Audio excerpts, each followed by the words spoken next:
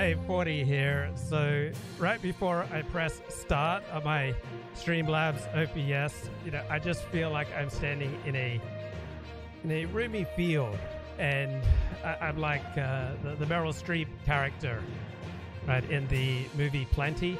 Right, she was a fighter in the resistance against the Nazis during World War II. She had this important role to play, and towards the end of the, the war, she was standing in this beautiful French field with a farmer, and she the sun's shining down, and she like spreads out her her hands and says something like to the effect, uh, "Soon there will be plenty."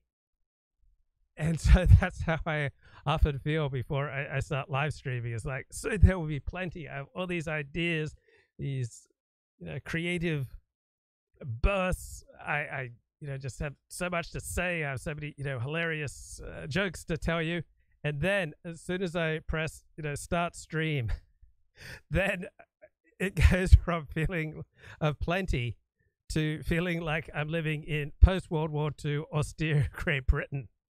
Right, austerity is kicking in.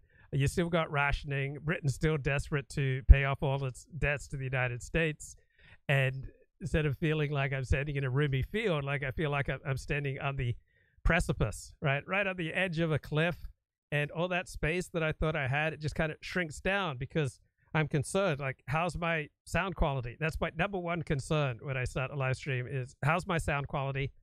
Then I want to make sure, oh, am I transmitting? right?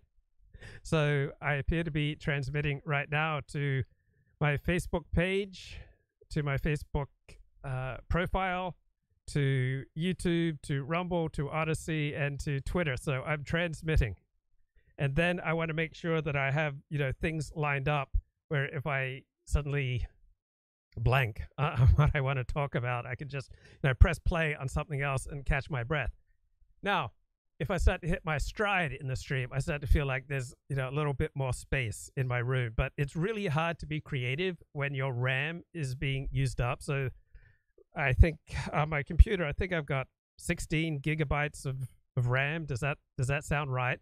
And the more things that you have going on with your computer, right, the more of the energy is getting used up. And so eventually your computer slows down, slows down until you shut down all programs and restart. And so every time you run a program on your computer, it seems to take up, you know, RAM. And that just leaves you less space to do the things that you want to do. And so too with doing a live stream, right? For every little bit of attention I pay to the sound levels and whether I'm transmitting here or there, or pay to the chat, or pay to breaking news, all right, I, I get distracted from the things that I want to say. And so it's just amazing how much I change when the situation changes. All right. I, I could I usually go into a stream like feeling happy, feeling confident, feeling fecund, filled with ideas. And then I start this the stream and it's like, oh no, I don't want to go there. Right? I often start the stream with the idea, oh, I want to talk about this demanding, morally demanding, factually demanding, intellectually complex uh, topic, and and then I get into the stream, it's like, oh, I just don't have the energy to do that.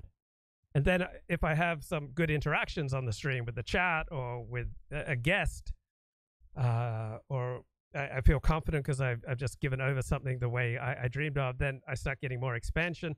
Also, if I use the Alexander technique, so let go of everything I think I know. Ah, that's good. Just kind of free the neck, free the face, you know, let go of all my conceptions about how reality should be, and then just return to the present moment, right? By letting go of that unnecessary muscular tension, letting go of my habits of tightening, compressing, pulling down with, with my musculature, then that opens up not just more room and space in my body, but also in my mind and in my emotions. So I was up at 4:30 a.m. and eager to get started with my day and I treated myself to a cup of coffee. I don't think I've had a cup of coffee in about two weeks. So it was very exciting to have a cup of coffee and then get a buzz. So I had a decent night's sleep, not great, but decent, and then a cup of coffee, and then I think I got my nootropic stack right. I, I took my modafinil, I had my cold shower, then I had my cup of coffee, and then I followed it up with some L-theanine, the supplement, which uh, supposedly makes the caffeine high last uh, twice as long. So a normal caffeine high lasts about two hours or so. But uh, with L-theanine, I find, I think, I believe it lasts four, five, six hours. So I am now five hours on since having my, my cup of coffee. And so, you know, what kind of bloke gets up at 4:30 a.m. on a Sunday morning? Someone who loves, guys. Someone who wants to contribute to your life. Someone who wants to pass on important insights. Someone who wants to engage in social learning with you, who wants to struggle with difficult ideas. Or maybe it's someone who's insecure and wants your adoration, or if not your adoration, at least your attention.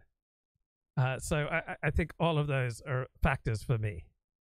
I I don't have kids, right? I don't have a family of my own, so those normal outlets that that normally healthfully take up most of your attention, right? I don't have, and so I spend more time uh, pursuing ideas, pursuing my blogging, pursuing my my live streaming, uh, pursuing excitement than I would if I had family obligations. But you can you can get a little bit of an intimation uh, of what it's like to have a family, and you can get a little bit of an intimation of the the calming effect of a normal, healthy family life if you are, say, adopted into, you know, semi-adopted into another family. So I'm a convert to Orthodox Judaism, and there have been various Orthodox Jewish families that have effectively, you know, adopted me into their home. They invite me over regularly for Sabbath meals, for holiday meals. Uh, you know, I feel a part of things. They children like me. I'm a roughhouse with the the boys. I, you know, shared jokes. I'm, you know, I'm made to feel part of the family. And so if you have that experience, right, it does have somewhat of a, a calming effect on what is otherwise a desperate need for excitement, for attention, for admiration, for, you know, proving that you matter. So I don't know if you have any children in your life, but let's say you're walking down the street with your mate and your mate's like holding, you know, his, uh, say, seven year old boy's hand as he walks down the street. And then, like, his, say, three year old boy, he, he like reaches out and takes your hand, right? That's like an amazing feeling. You just get a little intimation of what it's like to be important to someone, to be trusted by someone, to just a little intimation of what it's perhaps to, to be a father, to be normal, to have to have a family, and it's just incredibly calming. So I've found that when I've been effectively adopted into a home, that's just calm me down. I'm much less likely to act out in, in bizarre, you know, attention seeking, weirdo, desperate, desperate ways. Uh, I was looking at an article in the LA Times this morning about uh, a 12 year old kid who just uh, graduated right from from Fullerton College with five degrees. All right, now, yeah, they're five associate degrees, but still, being 12 years of age, uh, graduating from Fullerton College, all right, with, with five associate degrees is extraordinary. And so the drive to be extraordinary can be adaptive or maladaptive. All right. If if uh, someone like this kid with this you know level of high achievement uh, goes into a total collapse, all right, obviously this level of, of striving was maladaptive. But if he goes on to a healthy, happy, fulfilling, productive life, then it was it was a good thing. So apparently at age seven he was bored with second grade. He wanted more of a challenge. So his mother pulled him out of second grade and began homeschooling him. Then a year later, when he was nine, he enrolled in Fullerton College. Right. And she attended classes with him. And at one point he was taking 11 units, the maximum allowed for students in the special admit program, which provides them with a taste of college and allows them to simultaneously enroll in classes while attending high school. And so now he's graduating on Saturday with the 2023 class at Fullerton College, being the youngest person in the college's 108 year history to receive a degree. So I kind of identify with this kid in that at age 11 and 12, I was running marathons. And so I was training five, six, seven, eight, you know, miles a day up to 50 hours, 50 miles a week. And my parents did not want me to do that, right? It, it's hard to believe that that kind of distance running is good for a kid good for an adult, let alone a kid. But I had this desperate, desperate need to be distinctive. I was literally trying to run away from my unhappiness. I, you know, wasn't getting along that well at, at school. My, my seventh grade teacher suggested to me that, you know, I get homeschooled because I was just so obnoxious. There were, there were two occasions when I told her to shut up, and she let me know that was totally unacceptable. And then I got so scared by that suggestion of being homeschooled that uh, I, I started behaving myself better. But for me, my extreme running was very much trying to run away from my unhappiness. Now, people can live stream, people can blog, people can create, people can strive from a place of unhappiness or a place of happiness and contentment. And usually, those who are coming from a place of happiness and, and contentment will tend to make better decisions than those who come from from a bizarre place. So, my my opening topic is uh, is hate facts, right? You know, when is it appropriate to talk about painful, hateful facts? When is it inappropriate? And I guess I was kind of inspired this morning. I, I got a fifty dollar donation, so I could do like an hour's worth of uh, you know just regular work and, and make fifty dollars. But uh, normally when I, I live stream, I probably make about you know, four or five dollars an hour. I got a, a fifty dollar contribution, yes, over the weekend, and the man said, "Great show! I just read a terrific book you might enjoy that teaches a lot of forty principles about realism and situationism. It's called." Between the Alps and a Hard Place by Angelo Codevilla. Yeah, it's a book about Switzerland and its situation in World War II. So, Switzerland at one point by 1940 was surrounded by Nazi dominated Europe, was in danger of being invaded by Nazi Germany. And Nazi Germany had an absolute stranglehold on Switzerland importing the food and the energy that it needed to survive. So Switzerland had to basically accommodate the Nazis at the same time, Switzerland was heavily dependent on trade with the Allies. So Switzerland had to try to, you know, chart a course between Nazi Germany and the Allies. And part of survival was that it had to make itself as difficult to conquer as possible. So it devised a military plan where the primary amount of its armed forces would withdraw from most of the country and just go up, you know, to the Alps, to the most easily defensible areas. And so Switzerland had to make a lot of really tough decisions, which it, it's easy to condemn now. But if you were in their situation, right, you, you would have you would have made a lot of compromises as well, right? I mean, just imagine having like being surrounded by Nazi Germany, and then absolutely depending upon Nazi Germany to be able to import the the food and the you know energy sources that you absolutely needed for your survival. So when the war was going well for Nazi Germany, then Nazi Germany was able to demand that Switzerland provide it with say munitions and whatever that Nazi Germany wanted on credit. Then by 1943, when the war started going badly for Nazi Germany, then Switzerland was able to demand payment in kind. So Switzerland's reaction to Nazi Germany depended a great deal on the situation. So when Nazi Germany was strong, and this is the way the world works, when countries that surround you or have power to hurt you are strong, you have to accommodate them, even if they're evil, right? even if they're heinous, even if they're wicked, even if they're vainglorious, even if they're deluded, even if they're racist, sexist, homophobic, you still have to accommodate them, right? You have to accommodate others in real life, depending on their ability to hurt you. So you walk down the street and a homeless man comes at you with a knife and demands that you accept Jesus Christ as your personal savior, right? You have to accommodate him or risk risk death, right? If your boss demands, you know, certain codes of conduct, you have to accommodate your boss if you want to keep that job. If your spouse demands, you know, certain behaviors and abstention from other behaviors, if you want to keep that spouse, you have to comply. So the more power people have to hurt you, right? The more vulnerable you are to, to others, the more you have to accommodate them.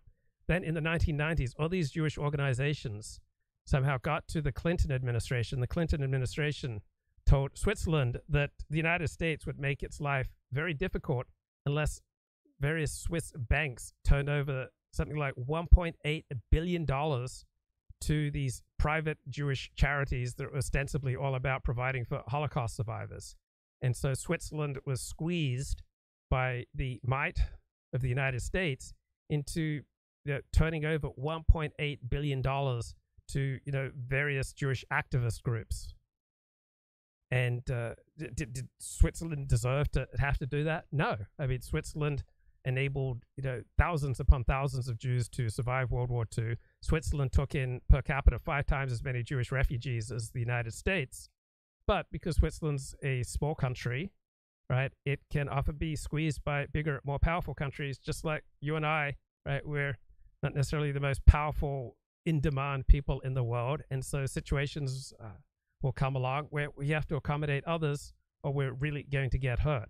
So you don't want to be just dispensing hate facts willy nilly, right? There are all sorts of situations where hate facts are completely, you know, inappropriate. And there are hate facts about each of us, right? You could come down right now with about 15 different hate facts in the chat.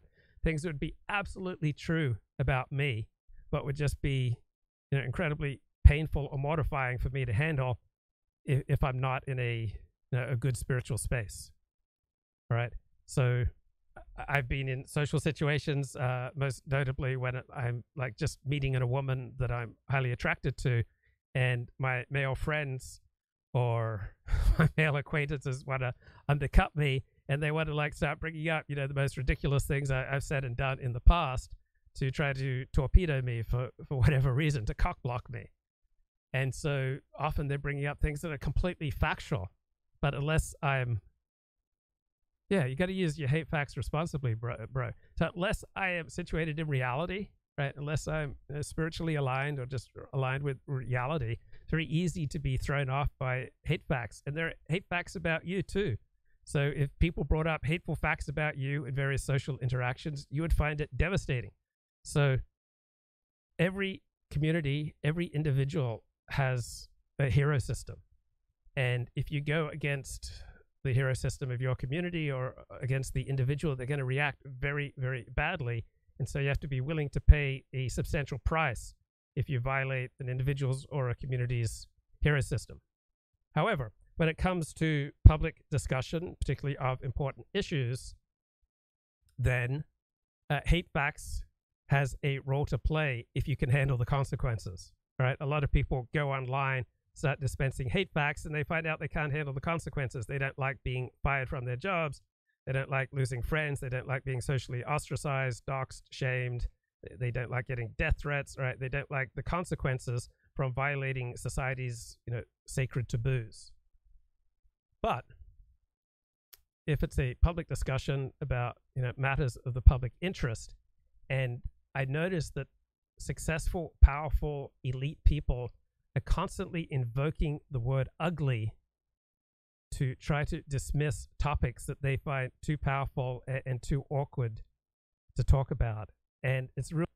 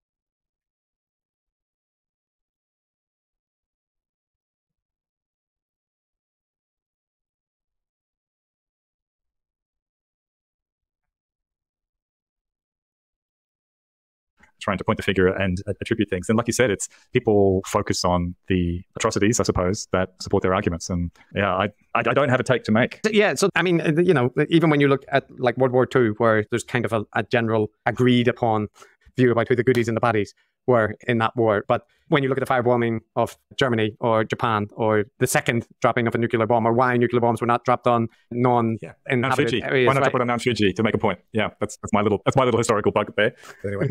yeah, but there, and and there there just are terrible atrocities, even in a war where there is a much broader agreement about who's in the right and who's in the wrong overall. And Yeah, it, it's just to underline that point that the reality is always complicated and bloody, and there's always examples to be cited to kind of support whatever interpretation you want to take. But I, I will say that I think, Tariq, it, it's kind of a different point when they're talking about 9 11 and the response to it. And Hitchens is complaining about there not being enough pushback about Hamas's manifesto or whatever it is that mentions the obliteration of Israel and so on.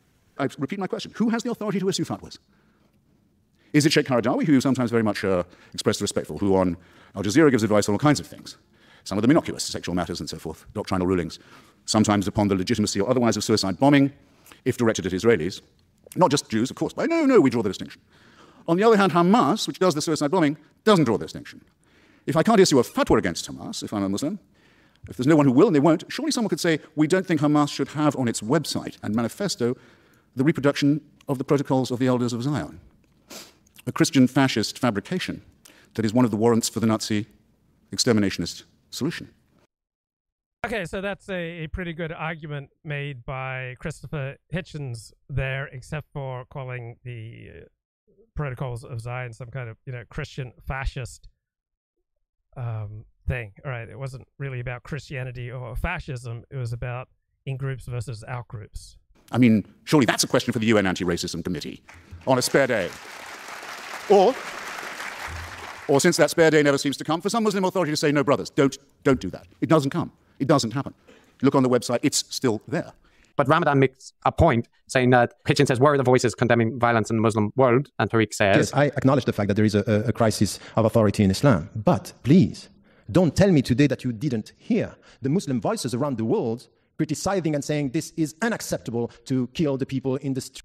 Okay, so it's not a matter of voices, it's a matter of how much resonance and power do the voices have. So, what concerns non Muslims about Islam is that it sure seems like the, the nicest, most moderate uh, Muslims tend to be intimidated by the more extreme Muslims. So, not all voices count equally. All right, a, a fatwa from a leading cleric in Iran seems to have you know more devastating power to disrupt the lives of non-Muslims than the, the proclamations of, of, various Muslim academics in, in the West. Like, how much pull over eh, extreme Muslims do, say, Muslim academics in the West have?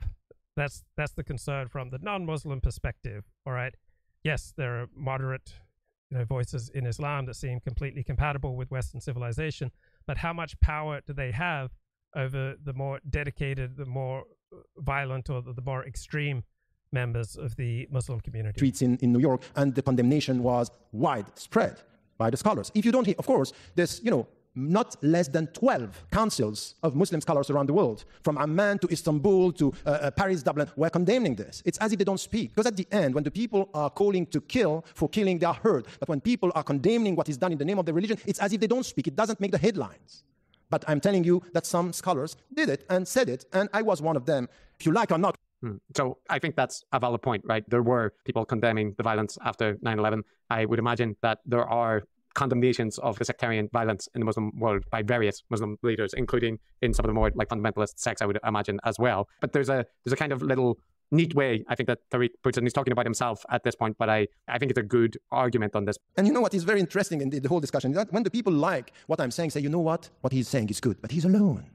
Minority. It's open, but he well, it, it, matters how much power the voice has, right? It's not just a matter of there's a study that says X and a study that says Y. What matters is the quality of the study.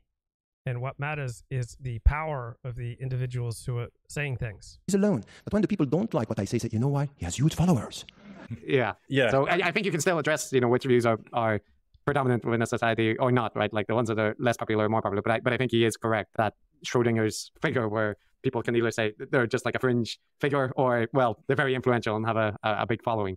Yeah, yeah, it's a tricky one, isn't it? Like on one hand, I don't think it's um, a good argument to just carve off extremists or people who do bad things in the name of the ideology that you favor and say, oh no, they don't belong to us. We take no responsibility for them. On the other hand, it's still very much the case that 99.9% of people of any persuasion don't commit any violence in the name of the thing that they subscribe to. I mean, it's very much. Yeah, and that's that's a good point. Also, it's a worthy point to question why is it that say all hijacking since the 1970s uh, at least seem to have been committed committed by Muslims. Yeah, the harmful actions of a tiny minority of people will normally you know pollute the reputation of that particular group in the eyes of outsiders. That's just how the world works. That's reality right? We are naturally predisposed towards negative feelings about outgroups when they're at tiny numbers of an outgroup that commit you know disproportionate amount of disruptive deadly activity a normal human reaction will be skepticism and negative feelings towards the entire outgroup much analogous to the silly thing that's on Twitter at the moment, which is once again, surprise, surprise, Chris, racial politics in the United States has raised its ugly head again. And I'm not tweeting at the moment. I'm just, I just look at it occasionally sometimes and then turn it off in disgust. But, you know, there's these debates about crime, right? And, you know, various inflammatory tweets about white on black crime and black on white crime, whatever. Why is that silly? All right. I, I can understand why it's ugly, but calling it ugly and calling it silly is not really a strong argument. If if uh, this Australian academic, Matt Browne, had a strong argument to make here, he would make it. But he doesn't have a strong argument to make, so he resorts to name calling, saying it's silly or ugly. Vice versa.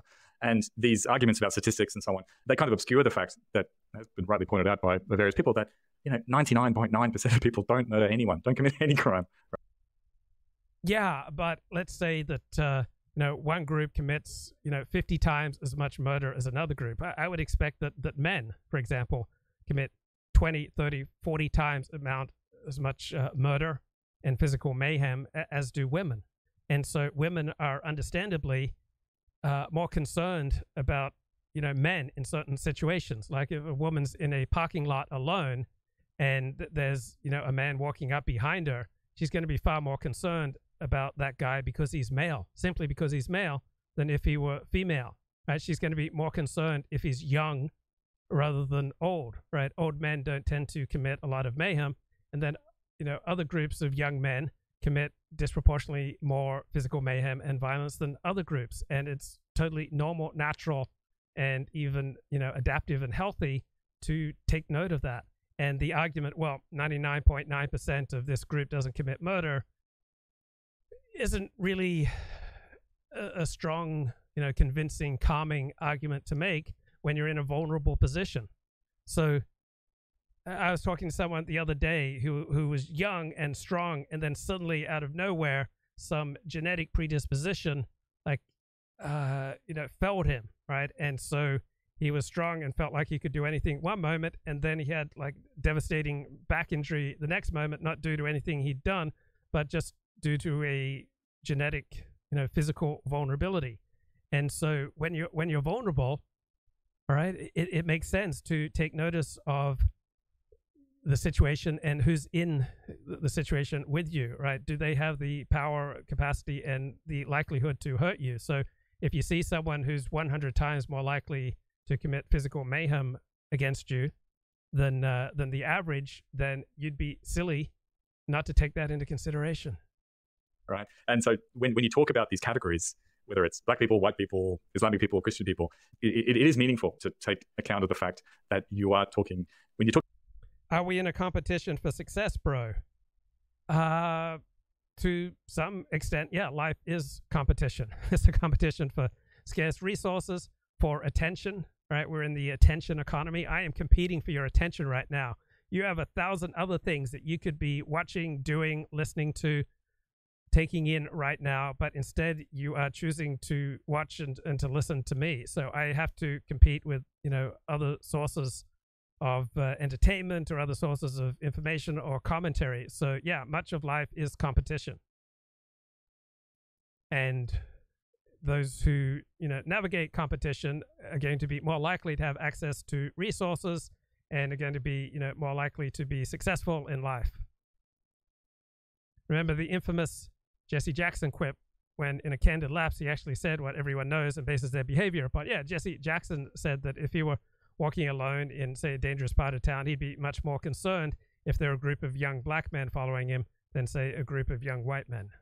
Talking about extremist acts of violence or crime or, or something extreme, then you are talking about a tiny percentage of any population. Yeah, so I think that's good to keep in mind. But there are also there are arguments about the little Sam Harris ringing in my ear is about the, or Dawkins maybe as well, about, you know, the role of moderates in supporting the more extremist sects. But you can also see it as the role of moderates in diluting the power of the more hardline movements in a religion. So, yeah, I do think there's a tendency to fixate on extremes, but there's also the issue that like it's the people at the extremes who tend to do the violent acts or you know be responsible for the rhetoric that accompanies atrocities and, and whatnot. So it's a bit of a debate back and forth. Yeah, I think what you're saying is that the, is it the radicals or the extremists can be given a permission slip by the broader group. I mean, you know, like a good example is the MAGA phenomenon in the United States. Now, I'm sure, you know, like half of America voted for Donald Trump. Maybe half of them have MAGA-esque sympathies. You know, not, not all of them are rushing out to storm the Congress or to, you know, do extreme things. But at the same time, the ideology that they subscribe to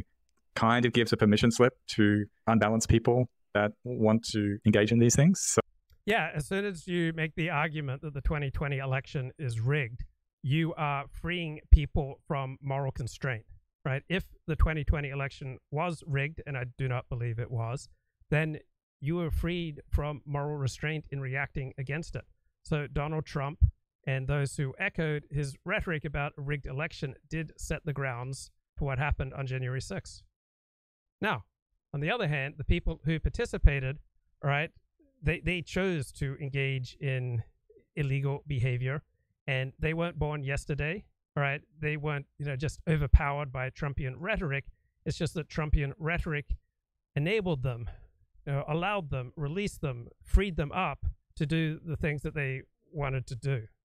Right? They, they wanted to make their voices heard. They wanted to feel, you know, powerful and consequential.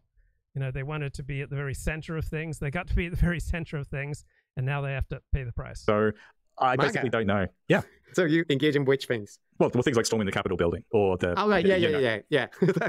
so, yeah, yeah I, I, mean, the reason I was just asking for clarity is in regards, like, there's that concept of stochastic terrorism, right, which is spoken about quite a lot now. And I. So, stochastic terrorism means that uh, words and, and ideas that are tossed about in the public space can have an unpredictable effect on people. And I, am sure it exists, but that's not the, the primary reason that people commit murder. Right? The primary reason that you have genocides in the world, the primary reason that you have you know mass slaughter, is because of a compelling, dramatic conflict of interest uh, between two groups who you know live next to each other, right near each other, and there's a vital competition, and you know at least one group feels like uh, they're in a fight to the death. So the stochastic, you know, terrorism argument is essentially that you know people are just born yesterday they're incredibly naive and they're you know relatively easy to manipulate but that's not the primary reason why people commit mass slaughter right? The primary reason for genocide the primary reason for mass slaughter uh, is dramatic conflict of interest whereby you feel like your people's survival is at stake right? It's not because of hateful language right? All societies are filled with hateful language but mass genocide is relatively rare, right? There's hateful language in the Bible, there's hateful language in every civilization, in every society. There's tons of hateful language. Most people don't go out and act on the hateful language, right? They tend to only act on it when there's a pressing matter and they feel like their people's survival is at stake. So simple ideas such as we did not evolve to be gullible help you navigate through a whole lot of windy rhetoric about stochastic terrorism. I have no problem with that term. I do think there's a risk that people over apply it anytime that there's strong rhetoric that they don't like. However, the risk is real, but I, I, I, wish people applied it consistently because I think exactly what you're saying that like people can easily understand if they're left wing, they can easily understand the issue with people promoting like derogatory hatred towards immigrants, talking about how they're infesting society, talking about how we need to protect our borders and our women from these people that are coming in and how you don't actually need to be saying pick up your gun and go and kill people for that kind of rhetoric to have an effect when people go into mosques and murder Muslims or shoot, you know, at immigrants in border areas or whatever, that it it has an impact. That ideology has an impact. Even if you yourself are, you know, a figure doing that and then saying, no, of course we don't want anyone to, to kill anyone, right? Yeah. I, I, I'm just saying Mexicans are rapists. I'm just, I'm not saying you should yeah, they're not that. sending their best people, right? Yeah. But I do wish that people would apply that consistently because in the same regard, if you have an ideology which talks about a kind of clash of civilizations and a, a religion which is true, whereas others are a threat to the religion, and that there is the particular word of God which you are promoting, right? And there are various interpretations of religions where you can be warriors for the faith and be rewarded for that, right? There's Buddhist concepts, there's Islamic concepts, there's Christian concepts about being warriors for your religion. Well, there's a time and a place to be a warrior for your people, all right? If you take out the sword in the wrong circumstance, then you're in all likelihood just going to make life worse for your people. If you take up the sword in the appropriate context, then you'll act, you know, as a protector of your people.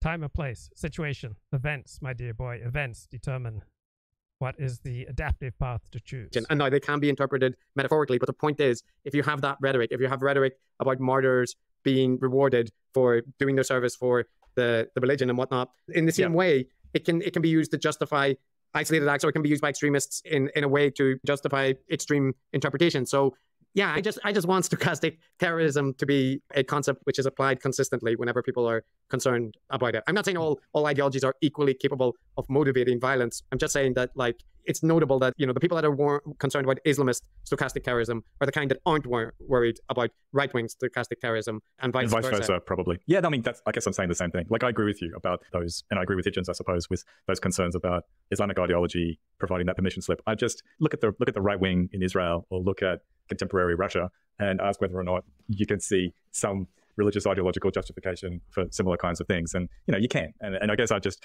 my frustration with Hitchens in, in this interview, which is I, I feel like if he's on solid ground, speaking to the thing that he truly cares about, right, which is that he hates all religions, right, Mm. and he's in this debate talking about Islam in particular, and I, I just didn't feel like he made a convincing argument that there was something special about Islam that couldn't be attributed to particular historical, geographic, and economic contingencies of the modern world. Hmm, hmm.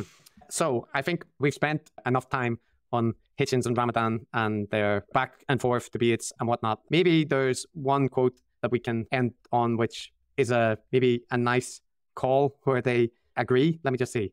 Did they do that? So something nice and conciliatory, Chris. Let's let's draw Yeah, a I'm line under this. find You know, we've had this blast from the past. Nobody wants to talk about this stuff anymore. Yeah, I don't know if that's true, but I- I'm not sure that I that I can find a note that is appropriately conciliatory. But I, I can at least find Hitchens talking about the fact that they seem to both agree on the importance of pluralism and tolerance. Uh, now Hitchens uses it to get a dig in, but nonetheless, here we are. Now, you, you would do better, I think, Professor, if you identified yourself as a member of a very small and critical and endangered minority. Someone who really is against all this and will say so, and will also decry the fact that the religion itself can't seem to throw it off. But you seem to have that a little bit both ways. Now, I'm going to have to well. stop you so we can get to Yes, so then my, my, my closing statement is this. If you want diversity as much as the professor does, as much as I'm sure many people here do, religious diversity, cultural diversity, um, what you need for it is this. You need a secular state with a godless constitution like this one.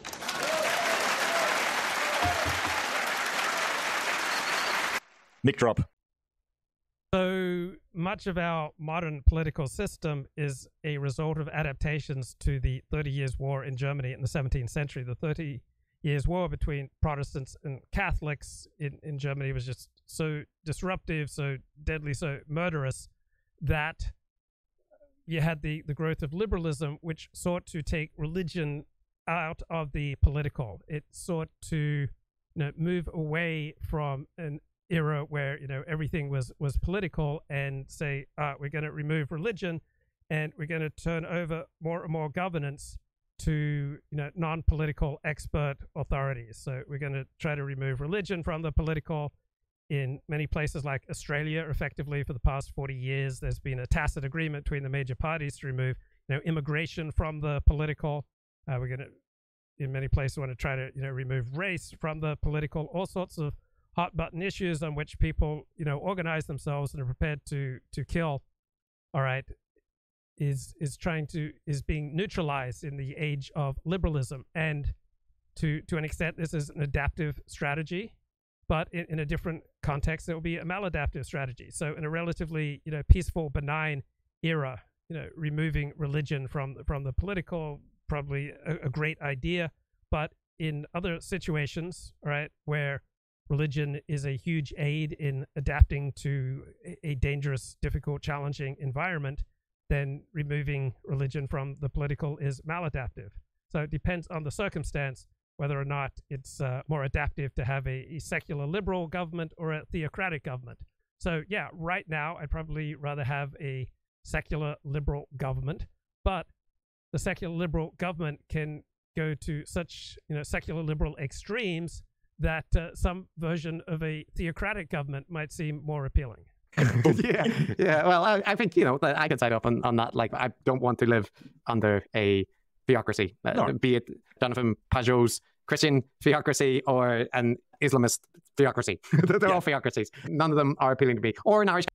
I, I think after the United States Supreme Court in the Obergefell ruling effectively made gay marriage the, the law of the land, you know, increasing number of traditionalists and, Christians started being tempted more in the Christian nationalist tradition. They started saying we, we need an alternative to our current secular liberal type of, of government. So when you try to reorder human nature and reorder the way that people have traditionally conducted themselves, built families, and built communities, all right, at a certain point, there's going to be backlash to that. So we've never had, you know, same-sex marriage before in human history until the last 15 years, right? The Talmud, for example, is filled with criticisms of the Romans, but there is one passage where the Romans are praised for three things, and one of them is that they don't marry men with men. So even though homosexuality was tolerated or celebrated in hundreds of different cultures and civilizations, you did not have same sex marriage till about 15 years ago. So, for many people with particularly a traditional orientation on life, this radical new way of organizing families is anathema, and they start looking at you know, the, the, secular liberal approach to life and thinking maybe there's a better way. Catholic theocracy, for that matter, you know. So, so yes, there we agree. Secularism, at least in terms of the government structure, is good. Seems to be is good. Yeah, yeah it's doing right. all right. Yeah, politically, politically, I'm in favor of debonair cosmopolitans. You know, knocking back a whiskey.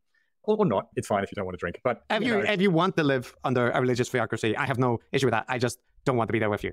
you you can go live at a religious theocracy, and I will stay in a secular democracy. So horses for courses, horses for courses. But yeah, yeah. So enough. That's that's an excellent take, Chris. Well, right now I don't see any religious theocracy that I would like to live under. So right now, places where I would like to live have secular liberal types of government. That's a good thing to yeah. Yeah, for, for a secular person to hold. But um, but anyway, they're, they're... what we should do, Chris, I mean, we inserted ourselves into this debate. We couldn't resist. Our old new atheist stripes reared their ugly hackles and we, we got involved. But what are your thoughts about Hitchens more generally? Is he a guru? Does he make the barometer go ping? What's the deal? Yeah, see, I think he is a traditional secular guru in the sense of somebody offering a worldview and having revolutionary theories that he promotes. A charismatic personality attracts followers and whatnot. But he was at his peak before the social media age, before the you know the online ecosystems had properly fully developed. I think, and as a result of that, it's hard to say how he would have turned out overall because you know when he died, essentially, although he had a following and you know was a kind of iconic figure in, in various regards, he was very much you know a traditional media pundit type. Mm-hmm. But what I did go to one party with Martin Amis and Christopher Hitchens. It was a party thrown by the Atlantic in Westwood around uh, 2004. I remember I started talking to this uh, very attractive, charming daughter of a, billionaire at that party. Is one of those very rare social gatherings that I've been to with uh, Kathy Seipp, where e- even Kathy Seipp, the formidably intelligent Kathy Seipp, the, the late uh, critic of the Los Angeles Times, even she was intimidated. I mean, there was a very high class of, of people. I didn't speak to Christopher Hitchens and Martin Amis at the party, but there are about uh, 100, 200 people there, and yeah, pretty pretty big crowd surrounding uh, Christopher Hitchens and Martin Amis. I got to speak to the literary editor of The Atlantic, I think Benjamin Schwarz. I talked to him about Tom Wolfe's novel, A Man in Full. He didn't think uh, much of it. I, I, thought it was a great novel. I didn't uh, bother him with my opinions. I, I was much more interested in uh, his perspective. But yeah, there are parties filled with you know, brilliant, accomplished, uh, charismatic figures like uh, Christian, Christopher Hitchens or uh, Martin Amis. Here's a World War II training film. Don't relax that caution now. The Nazi party may be gone, but Nazi thinking, Nazi training, and Nazi trickery remain. The German lust for conquest is not dead. It's merely gone undercover. Somewhere in this Germany are the SS guards, the Schutzstaffel, Gestapo gangsters. Out of uniform. You won't know them, but they'll know you. Somewhere in this Germany are stormtroopers by the thousands. Out of sight, part of the mob, but still watching you and hating you. Somewhere in this Germany, there are two million. So not only occupying powers tend to have non-fraternization policies, but you know most workplaces, most businesses also have non fraternization policies. Ex Nazi officials. Out of power, but still in there. And thinking. Thinking about next time. Remember that only yesterday every business, every profession was part of Hitler's system. The doctors, technicians, clockmakers, postmen, farmers, housekeepers, toy makers, barbers, cooks, dock workers. Practically every German was part of the Nazi network. Guard particularly against this group. These are the most dangerous. German youth. Children, when the Nazi Party came into power, they know no other system than the one that poisoned their minds. They're soaked in it. Trained to win by cheating. Trained to pick on the weak. They've heard no free speech. So, comment in the chat: Is there gay marriage in Australia? Yes, I I think there's gay marriage in what every first world country. Two exceptions that come to mind. I don't think Japan has it, and Israel does not have it. Read no free press. They were brought up on straight propaganda. Products of the worst educational crime in the entire So propaganda didn't change the Germans, right? The type of people who supported the Nazi Party were people who were aligned with the Nazi Party's orientation on life, or who wanted to get ahead and you know just found it, it facilitated their rise in society if they aligned themselves with the, the winning team. But those Germans who were completely opposed to Nazi ideology were not uh, convinced by propaganda, and that's the lesson from all authoritarian regimes, right? From Soviet Union to Nazi Germany to Mao's China, uh, the propaganda of these regimes did not change many minds. Our history of the world. Practically everything you believe in, they have been trained to hate and destroy. They believe they were born to be masters, that we are inferiors, designed to be their slaves. They may deny it now, but they believe it, and will try to prove it again. Don't argue with them. Don't try to change their point of view. Other Allied representatives will concern themselves with that. So it's rarely a good idea to argue with anyone unless it, it's a hobby, such as you're doing a live stream or you're, you're participating in a public debate. But uh, you can almost never change anyone's mind. It's simply not worth the aggravation, the hassle, and the blowback that you get when you try to correct people. You are So, for example, as Elliot Black phoned into the show the other day, and he said that one of his criteria for friendship is that uh, friend must have have your back. And I was saying I never considered that a, a criteria for for friendship. And for example, I would not want you to try to you know argue uh, on on my behalf. In, in general, it's pointless if someone thinks I'm a terrible person. You're not going to convince them by saying, "Ah, 40, he's not so bad." We're not being sent into Germany as educators.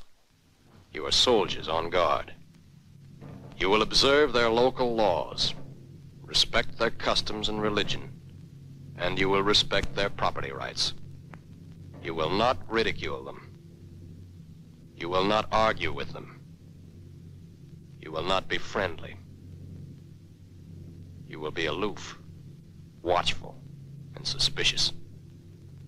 Every German is a potential source of trouble. Therefore, there must be no fraternization with any of the German people.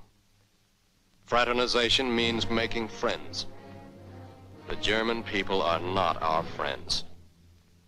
You will And then when the Cold War heated up, suddenly the German people became our friends. So why do people who are enemies one moment become your friends the next moment? Because the situation has changed.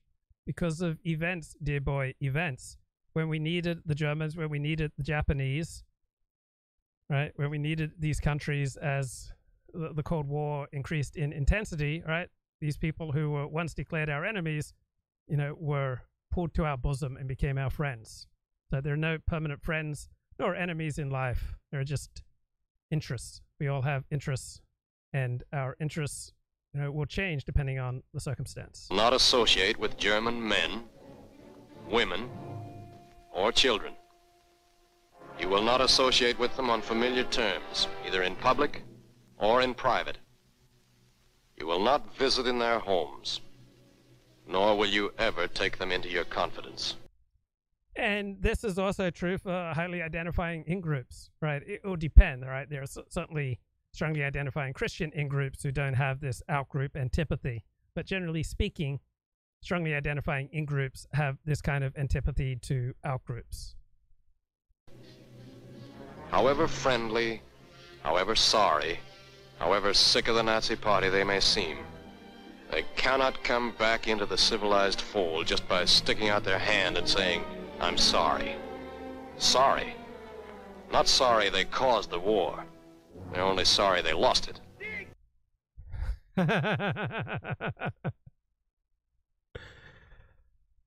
okay, that was that was fun. I want to uh, play just a little bit more here from Decoding the Gurus. Would Hitchens be like, had he have lived till now with Twitter in, in COVID with Jordan Peterson and, and the intellectual dark web and, and so on? I can't quite imagine it. And I can see it going the way that he becomes completely a, a secular guru of the, the toxic variety, or that indeed he doesn't at all. And he remains much more aloof and critical of that whole, you know, ecosystem. I can't say where he would land, but in this material, I will say that I think it's a good illustration of how eloquent he was, how rhetorically forceful he was, and also how there was substance behind his, his positions, but that he did take his positions often to a, you know a particularly strong position or polemical point of view, and as a result, nuance is sometimes lost. And yeah, generally speaking, I don't really care for polemics or for polemicists. Right, polemics means you you're just you know arguing for rhetorical effect at his uh, burst from latest uh, decoding the gurus. I have to practice my mid-Atlantic accent. I'm sure I could do a pretty good one. I just need to hear a few more examples to get into the zone. Yeah, I think that's that's doable for you. I think that's within your range. I, I could see you as a mid-Atlantic radio DJ. Yeah. yeah, yeah, I could do it. So the, the classic American accent is known as the mid-Atlantic accent, but it's it's largely died out. It used to be the dominant voice on radio and TV in America. I could do it. Yeah, so uh, so we get into our new format to have a little bit of a look around the Gurusphere, see what's been going on, keep tabs on some of the mm. old favorites. A bit like uh, one of the classic rock bands from the 1970s. We, we play some of the greatest hits as well as our new stuff. What have you got for us, Chris? Well, Elon Musk announced a new Twitter CEO, and it's been enjoyable to observe because she appears to be a relatively, I, I stress, relatively normie advertising executive kind of type, right? So the kind of person that you would expect to get a CEO role for a tech company that wants to attract advertisers. And this led to much wheeling and gnashing of teeth amongst Elon Musk's pilled fans because she has some involvement with the World Economic Forum, Young Leaders Program, or whatever. Like she she took part in something to do with the World Economics Forum and. Right. So just because someone partakes in the World Economic Forum, it doesn't mean that they're you know bad, that they're necessarily against your interests. Right. That's the type of thing that uh, elites in media tend to do. As a result, they are all convinced that she's going to bring in the New World Order and destroy Elon's palace of free speech. So it's been funny to see him get dogpiled by his brain minions. I know. And the beautiful part about it is that Elon Musk famously changed the algorithm on Twitter so as to boost the blue checks. So, of course, he removed the actual identity verification for being a blue check. So it's no longer its original purpose of verifying the identity of people. Rather, it indicates that you're prepared to pay 10 bucks a month or 20 bucks, whatever it is, to Elon Musk. Yeah. And then, and so a lot of verified accounts like New York Times or whatever chose not to do that. So we're now unverified. The people who are verified were the uh, Twitter fanboys like Cat Turd 2 and the reams of Twitter trolls and we- weirdo people that like Elon. And the beautiful part is I think there's lots to criticize Elon Musk for, but I think uh, Twitter is considerably improved and a much freer space since he took it over. Is that now all of Elon Musk's tweets, which normally, if you look underneath them, you'd see, I don't know, in, in scare quotes, respectable, large accounts replying. Instead, all you see is an endless stream of conspiracy wackadoodles with their $10 blue checks ranting at Elon Musk for bowing to the globalist conspiracies. Yeah, so that's been fun to observe. Oh, Chris, it, Chris, Chris, before you say that, I have to say, I mean, you could almost um, say that uh, Elon Musk was hoisted by his own Catturd. Oh wow, that was yeah, that was worth the wait. but yeah, no, well, the it's been it's interesting in these kind of things because there's always like a sycophant versus conspiracist battle where the people who've been elevated by Elon Musk's attention are divided on whether they should sim for him or whether it's time to call out that the emperor has no clothes and isn't conspiratorial enough. And you see some people defending the pick and other ones like laying into Elon, but he'll never be able to satisfy them. Yeah, like uh, Donald Trump, Elon Musk seems incredibly petty. And many of the people that we have to interact with are incredibly petty. And so if you tick off, you know, Elon Musk, you might, you know, well have fear for the the safety of your Twitter account. And that's that's how the world works, right? Uh, people tend to be very petty, small-minded. And it is. I don't think this is going to be eh, anything that brings him down or stops him engaging with conspiracists or whatever. But it's just him getting a taste of the kind of community that he's encouraging. But yeah, so we almost all do this. All right, we all tend to attract a certain kind of people to us, and we all tend to exert some influence over other people. And so I'm thinking about a caller from last week who who complained about this, you know, endless stream of you know unsatisfying interactions with with other people. Well, we have a role to play, right? We have an effect on how other people interact with us, and so we can create a show or just in our daily life, the, the way that we speak and conduct ourselves, we're going to encourage a certain type of people to us. And if they are a pain in the neck, right, we probably played a role in that, right? There's probably the trouble in us that is attracting troubled souls into our life. But in terms of the gurus, so of course they had a variety of takes on this, but I think perhaps the champion take was offered by Eric Weinstein, who responded by saying, I was hoping for Yeonmi Park, Melissa Chen, Bari Weiss, etc. for Twitter CEO. With so many great women in the fight against thought control, what are we doing here? I'm distracted by travel. Can someone catch me up as to what went into the new choice? I know nothing about her. Praying hands symbol. So hmm. Yeonmi Park, the North Korean defector who has very many credible accusations of exaggerating and misrepresenting her tale of escaping North Korea and, and conditions there. Not to say the conditions in North Korea are good, but just that she does not seem to be a particularly reliable witness mm. for the, the stuff there. And then Melissa Chen and Bari Weiss, you know, right wing commentators. One could say this is Eric Weinstein perhaps flexing his own simp muscle in a particular direction for this selection of accounts to suggest. But you know, he, he actually, I've seen a lot of people poking fun at this, just saying this is an illustration of how credible people like Eric Weinstein are, how seriously we should take them. And I agree that that is an illustration of how deep and thoughtful Eric's mind is on these mm. kind of topics. Like it just makes no sense to appoint an escapee from North Korea or all the other people he mentioned, just who are just random substackers or conservative journalists as the CEO of a multi-billion dollar company, that's not how the world works. So it does illustrate how Eric's brain works. I think it's primarily just simping. Frankly. Yeah, and, and also that thing about, you know, oh, I don't know anything about it. Can people catch me up? Like, obviously, he's got wind that there's the WEF conspiracies and stuff. So Eric cannot, it's, it's, yeah. he, he, can never it's, just say that that's his concern or he wants to paddle in the conspiratorial pool. So he has to just invite people. Oh, I, I know nothing. You know, is there some controversy mm. around her? What what's the issue? Right? Like, ugh. yeah, he's he's manipulative, but it's it's so transparent. It's like being it's like being tricked by a twelve year old.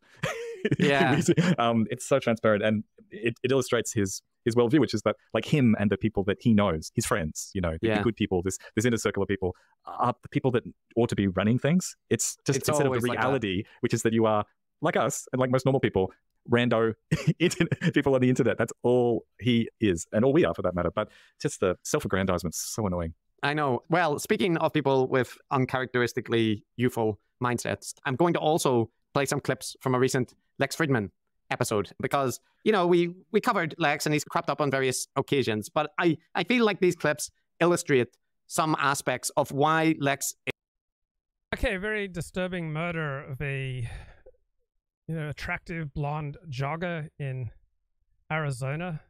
That's we're just nervous to be out by ourselves right now. We also know that this dark period, we'll have her memories and, and we will love her. So I almost never feel physically unsafe. Certainly when I'm in Australia, I almost never feel physically unsafe. But women being the physically weaker sex, right? The normal woman, particularly in, in a big city, is going to feel unsafe many, many times a day. And just uh, horrifying what happened to this uh, jogger. For every minute that we are on this earth. I know that Phoenix residents are resting easier after this arrest. Her life cut short. Her accused killer it seems no stranger to a jail cell. It's been exactly one week since the murder of Lauren Heike, and we are now learning more about what's being described as a random attack.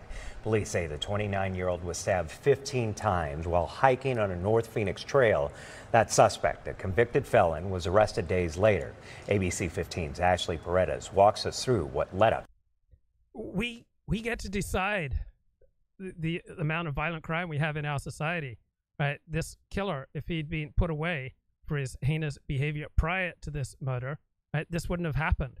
Right, if we simply lock up the super predators right? The less than 1% of our population who are most likely to commit these kind of crimes, right? Someone who commits a violent crime, if you just lock them up for a long, long time, you can dramatically reduce your murder and mayhem rates. To his arrest. Heartbreak felt across the community as new details emerged in the murder of 29 year old Lauren Heike on a hiking trail in North Phoenix. Seeming so I remember talking to women when I describe my hikes that, that I go on, they'd often say, "You're lucky you're a man." Like I would not feel safe, you know, doing what you're doing. They wouldn't feel safe, you know, hiking alone. And my reaction, I'm not sure I said it out loud, was, you know, that's silly. You're silly. But then you see stories like this, and and perhaps this uh, female reaction against hiking alone has more justification. Seemingly at random. It's uh, scary to learn the mind of someone like this um, and what he was thinking. 22 year old Zion Teasley appearing before a judge Friday. A Maricopa County prosecutor says DNA, cell phone, and circumstantial evidence all helped in connecting him to the crime. Police believe Heike was killed on April 28th, giving us a timeline of her steps that morning. We're told surveillance video collected from the area shows Heike at 10:29 a.m. leaving the entrance of her apartment complex on Mayo Boulevard. At 10:38 a.m., Lauren was seen on video walking southbound on Allied Way taking a right turn on Princess Drive. Little did she know that around that same time, Teasley was coincidentally just right across the intersection. That is when their paths crossed, and police say he continued following her to a trail entrance about a quarter mile away. According to court documents, at 10:52 a.m., a surveillance camera from a home within the Paradise Ridge community shows Lauren walking alone on the trail before stepping out of view. Nearly 30 seconds later, Teasley is seen walking the same direction. Then a short time later, he is seen sprinting. By 10:55 a.m., Teasley is trying to cross a barbed wire fence along the trail which leads to a desert area. Detectives believe Lauren ran through there, trying to escape Teasley, her shoe left behind. She was found 24 hours later with 15 stab wounds from a pocket knife. I, I believe she fought him off. She was able to get away, but her injuries were too severe and she just couldn't continue. Teasley is being held on first degree murder and for violating his probation. He was released from prison last November after being convicted of armed robbery, robbery, and disorderly conduct, stemming from multiple incidents in 2020. Author- okay, any judge who would have released this guy has blood on his hands. Authorities also say Teasley was recently terminated from his employer for being, quote, aggressive toward female employees. Documents state Teasley told investigators he was struggling with his sexuality, and when shown a picture of Lauren, he said he recognized her from the news and wanted to look like her. May her memory be a blessing for you. She was taken from us too soon. We cannot. So, uh, Steve Sailer asked if we're going to see a rise in these widow sex crimes. Right? This guy wanting to look like her. Whoa. So Steve Sailer says this sounds like a 1970s crime, the kind of crime that would draw interest from movie and TV screenwriters of the time. But in adapting the true crime story, of course, they dropped the fact that the killer was part black. I'd assume that historical causality flows in both directions. As more bizarre sex crimes are perpetrated, you get more movies and journalistic coverage about bizarre sex crimes. And then as more movies and coverage of sex crimes is made, you get more sickos visualizing themselves doing something seri- uh, similar. So, through the 60s, 70s, into the 80s, right, there was this uh, big surge in weird sex crimes and serial killings. Perhaps that had to do with the loosening of morals so that do what thou wilt notions that emerged from the late 1960s. Doesn't that come from one of the leading Satanist thinkers? So maybe something's going on again in the 2020s. Our culture, theoretically at least, worships the transgressive, On the other hand, young people today appear to be a lot less controversial, audacious, outgoing, and energetic. In the 1960s, you've got porn to every taste, vastly more available. So perhaps there's less urge to do it yourself. Life is much more virtual now, and transgressiveness is supposed to manifest more in identity than behavior. So perhaps the 1960s were the age of do what do what thou wilt, while the 2020s are becoming the age of uh, don't bother doing what thou ought, such as putting on a seatbelt or treating treating the uh, police with uh, respect. Another disturbing story out of uh, New York, where this pregnant physician assistant, right, is you know being called a Karen because she cries for help when after she is paid for a bike, you know this this gang of, of youths surround and make fun of her. The roughly two minute video starts with a white woman wearing hospital scrubs straddling a Citi Bike, screaming for help, even though she doesn't appear to be in danger. Please help me! This is not your bike, repeats the young black. Okay, this is her bike. She did pay for the bike. Right? Imagine you paid for something, and then someone else comes along and says, "Hey, this is not yours," and and you know a group of outgroup youths surround you and mock you. Man standing next to her who says he just rented that Citi Bike. His friends standing around him. This is my bike. It's on my account. Please get off. While the video doesn't show the young man touching her, it does show her remove her hospital badge, then grab the young man's phone. Why you took his phone? The woman then tells him he's hurting her fetus. Okay, so that's a bad idea, right? Don't grab strangers. Don't grab their property. I'm not touching you. When a man, also in scrubs, inquires what's wrong, the woman all of a sudden appears to begin sobbing. When the man tells the woman to choose another bike, she calmly removes herself. Another young man recording the video can be heard saying, How you stop crying? Not a not a tear came down, miss. We do not know what happened before the recording began at this Citi Bike stand near East 30th and 1st Avenue, but many are blasting the hospital worker, a physician's assistant who NYC Health and Hospital Okay, they're blasting her. She's a, a pregnant woman who paid for a bike, and then someone else commandeers it and mocks her. Bellevue say appears to work for them. The city hospital group saying they are sorry this happened and are reviewing the incident. Civil rights attorney Ben Crump tweeting, This is unacceptable, and she grossly tried to weaponize. All right, she wasn't stealing a Citi Bike. She was on a bike that she had paid for. Her tears to paint this man as a threat. This is exactly the type of behavior that has endangered so many black men in the past. No one answered at the woman's Brooklyn apartment or returned our calls for comment. This woman lives in her building. That woman lives in this building with me? Another neighbor who knows the woman in the video told us off camera he believes the incident is being blown out of proportion. But this neighbor says the young men could have ended up in jail or worse. It's clearly like a Karen, a Central Park. Welcome to the fairest show on television. First tonight, the importance of fairness and telling both sides of a story that includes not rushing to judgment, as it now appears some of the biggest names in media did this week. For example, the New York Post branded Sarah Comrie Citi Bike Karen after an altercation with her and a group of teens went viral. Other outlets branded Sarah everything but a bedsheet wearing racist over the video. But as we told you last night, there is a lot a lot more to this story, and to be fair, we think you should know. Sarah had just ended her 12 hour shift at Bellevue Hospital as a physician assistant. She is six months pregnant.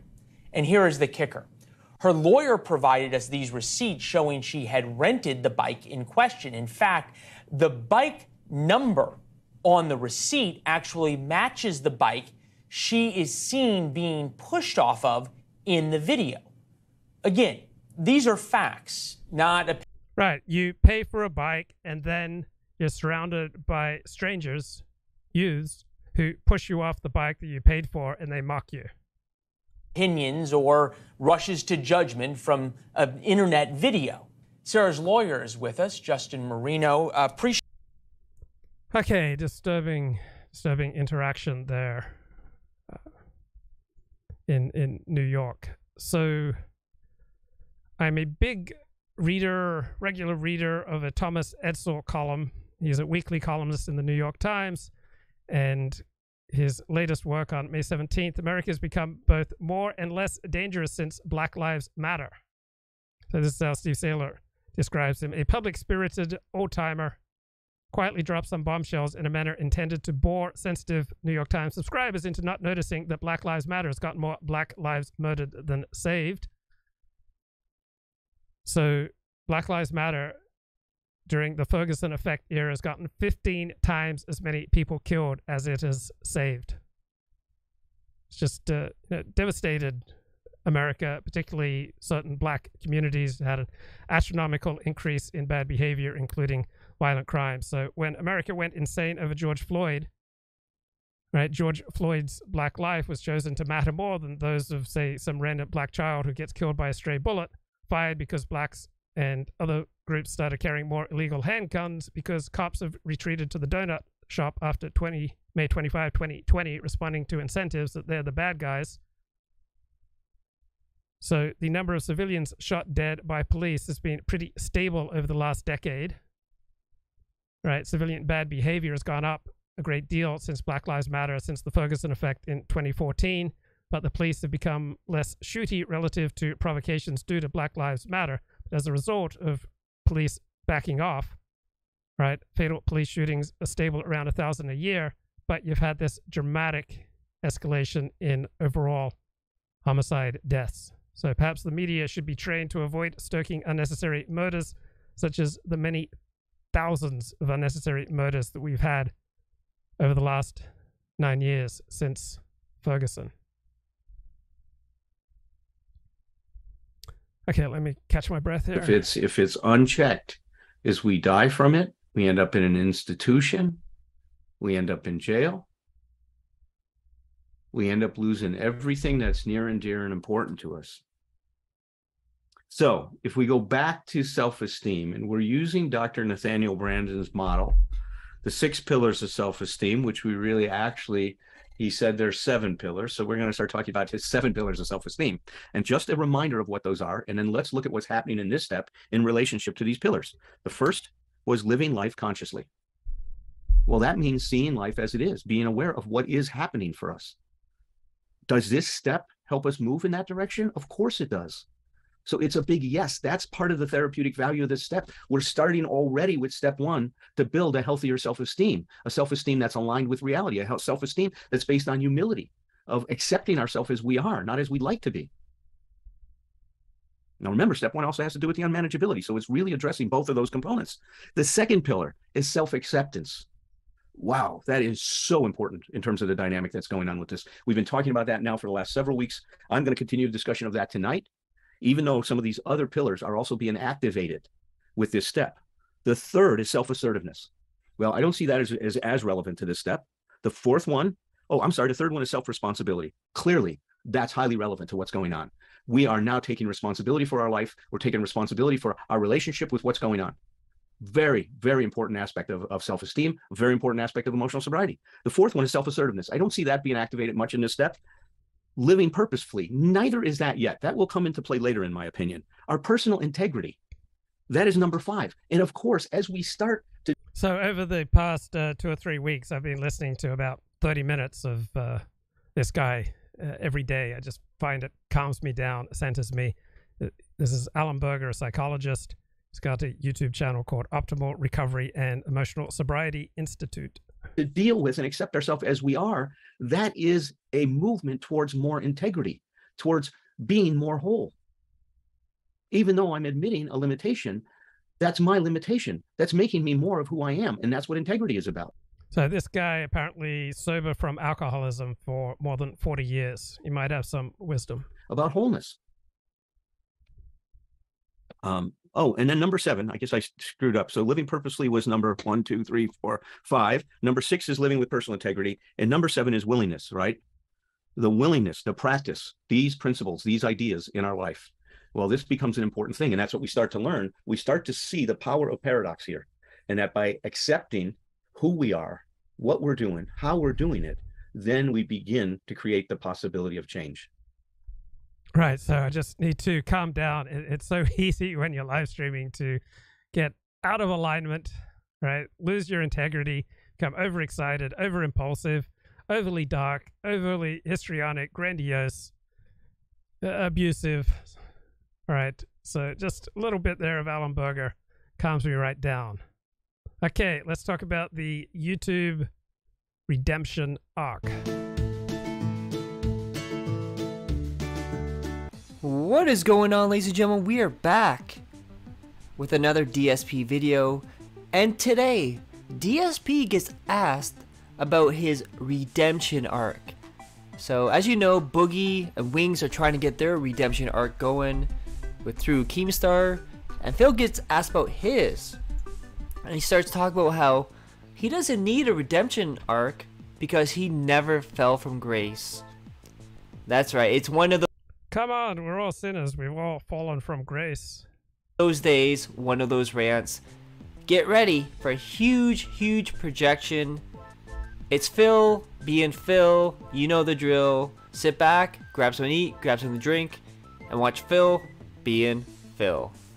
See, this is funny. Two Tuck Tuckerson says, Do you see a redemption arc being possible for you? If so, what do you think has to happen? Here's the thing for a redemption arc to happen, okay, someone had to have had fallen, okay? I was popular like over 10 years ago at a time when YouTube was into it. This is painful because this guy sounds like me at my most uh, defensive a- and pompous. I mean, when someone shares the truth, right? When someone speaks the truth, you feel it. It's like the, the molecules of the air change. This doesn't quite feel real.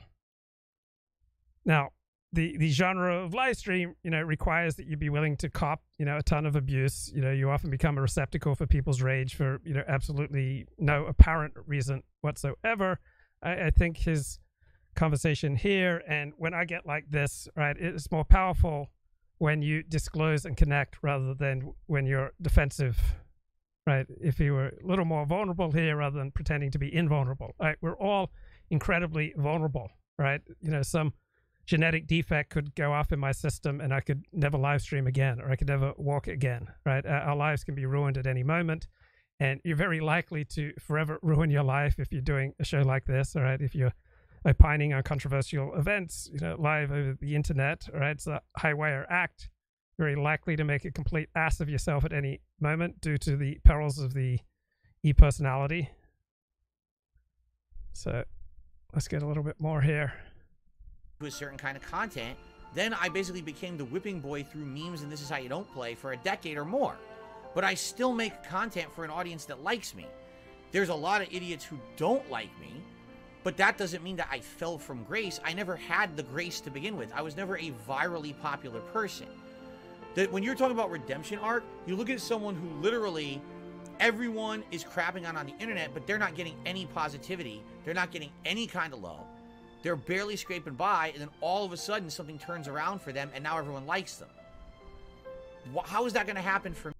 Okay, so it's intoxicating when you put something out publicly and people respond uh, positively, right? It's such a gigantic hit that it can completely, you know, turn you and hook you into all sorts of destructive behavior. But the more sober and balanced and centered and aligned you are, the more you have something going on in your real world, the less likely you are to become so intoxicated by getting some applause online that you start chasing it. for me? The only way, again, that would happen is for me to completely change who I am. The kind of content I make, I'm literally never going to be popular. You understand?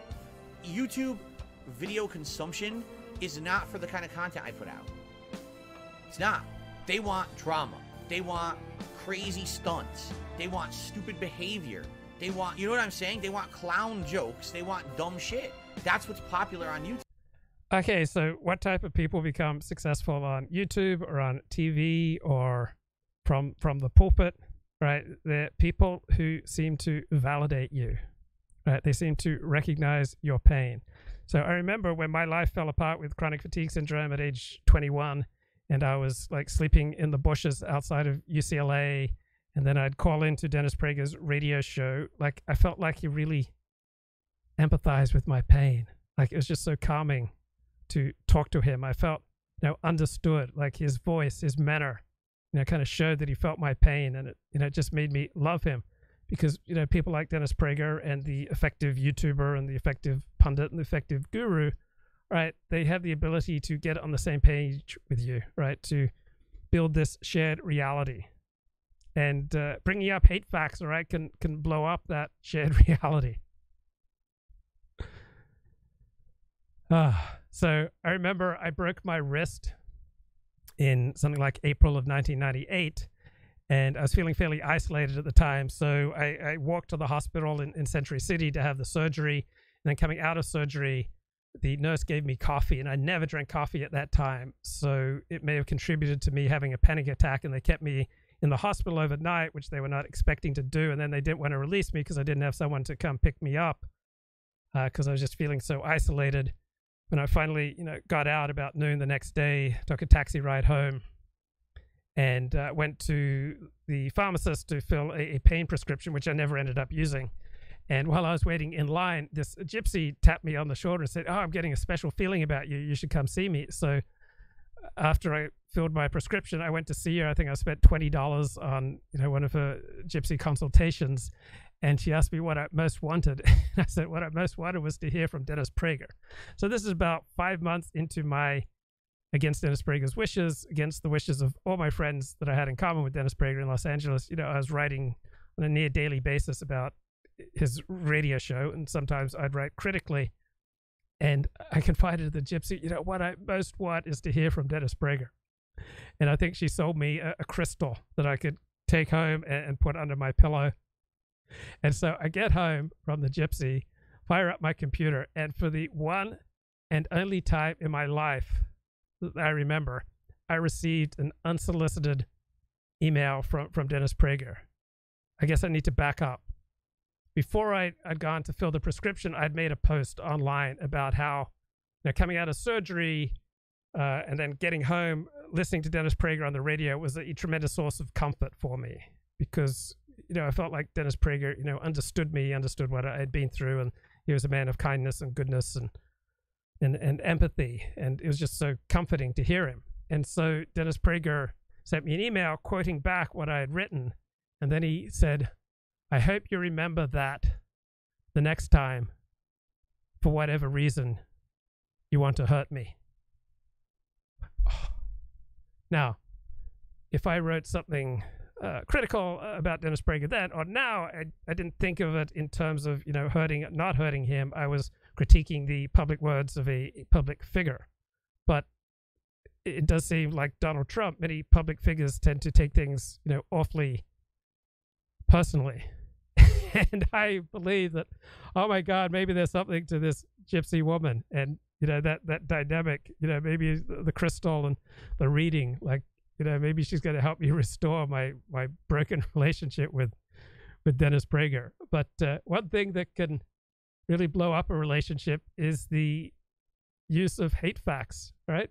You can have hate facts about individuals, uh, hate facts that you know things are just socially communally or individually unacceptable and you bring them up at you know in opportune times and places and they can you know blow up your relationships and then you have to decide you know what's more important to you. Is it being able to speak your mind publicly which is how i've usually sided. That's the that's the side that i've usually fallen down in this dilemma. Or you can restrict the things that you say publicly to try to maintain your relationships. So it's so strengthening, invigorating, exciting when you create a shared reality with other people. You know, you build something together, you connect, you have empathy, you see where the other person's coming from, you, you develop a certain synchronicity in your interactions. But then the inopportune use of, of hate facts can completely blow that up. And even people who are public figures, right, even people who say disclose you know painful things about themselves and their struggles you know in their youtube videos or in their blog posts or in a memoir that doesn't mean these things are any less painful. That doesn't mean that uh, you can just you know bring them up in in a conversation and they're going to be really happy you know at all times to revisit you know painful things that they have confided over the public airways. To immature nonsense. I don't put out immature nonsense. So, unless I completely changed who I was on YouTube to buy into the drama, I would never blow up on YouTube. Therefore, a redemption arc isn't possible because I don't want to be redeemed by these idiots. I don't want fucking morons and clowns watching my content because I changed to be what they want to digest. I would rather make the meaningful content I like to make and I have enough support to keep making. You understand? Okay, like press 10 if this is exactly how I sound much of the time. And I press 5 if it's you know, somewhat how I sound. and like press 1 if this is you know, rarely how I sound. Like I listen to this and I think, ouch, this guy sounds a lot like me. And it's kind of painful to listen to. that's the difference. That's what, what people don't understand. I can't believe he won't take the money or do this. You're right. You can't believe it because you have a closed mind and you don't understand that I'm happy doing what I do and being who I am. I don't have to answer to anyone.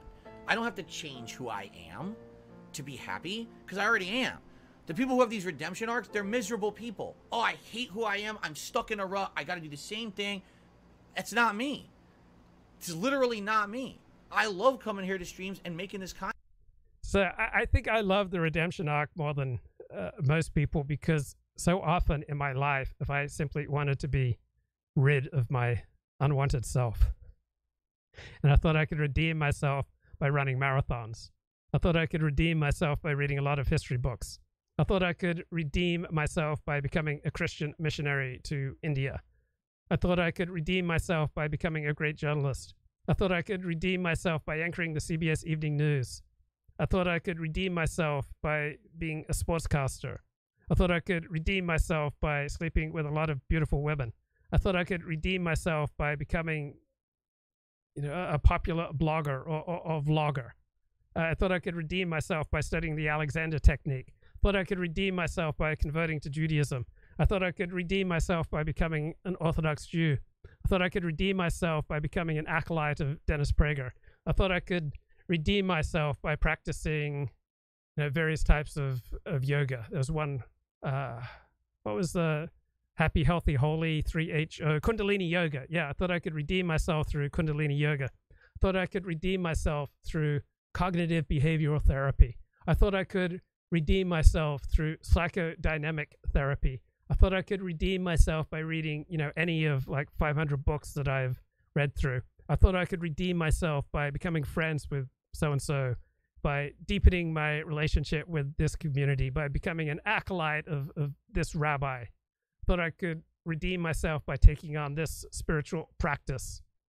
I thought I could redeem myself by you know, making a, daily practice of, of this or that, you know, self help, you know, personal growth, uh, you know, insight from from this or that uh, guru, right? Uh, and, and the type of uh, neurotic personality is just highly vulnerable to cults, highly vulnerable to gurus, highly vulnerable to you know the search for personal transformation. So I can like get rid of you know my unwanted self, and you know be be born again as a you know much much better person. Content with you guys every single day. That's why I'm here. I wouldn't be here if I didn't enjoy it. I would find something else to do, or I would absolutely bank and capitalize on the drama and the shit. I don't want to. I like who I am. I like the meaningful content I'm putting out, the the curated content for a certain audience. You understand? Right. So I I said uh, a couple of minutes ago, you know, tell me in the chat, you know, give me a 10 out of 10 if this is who I resemble much of the time, or give me a 5 out of 10, or give me, you know, a 1 out of 10 if I'm not much like uh, this guy. So depending on you know how centered and balanced I am, you know I have more or less need for that feedback. So as I have experienced life up until approximately the last five or ten years, I've just been heavily, heavily dependent on other people telling me who I am, and kind of unwilling to do the hard work of exercising my own judgment. So I'd like to think that age 56, I'm a little bit more capable of standing on my on my own two feet, have a little less need for other people to tell me who I am.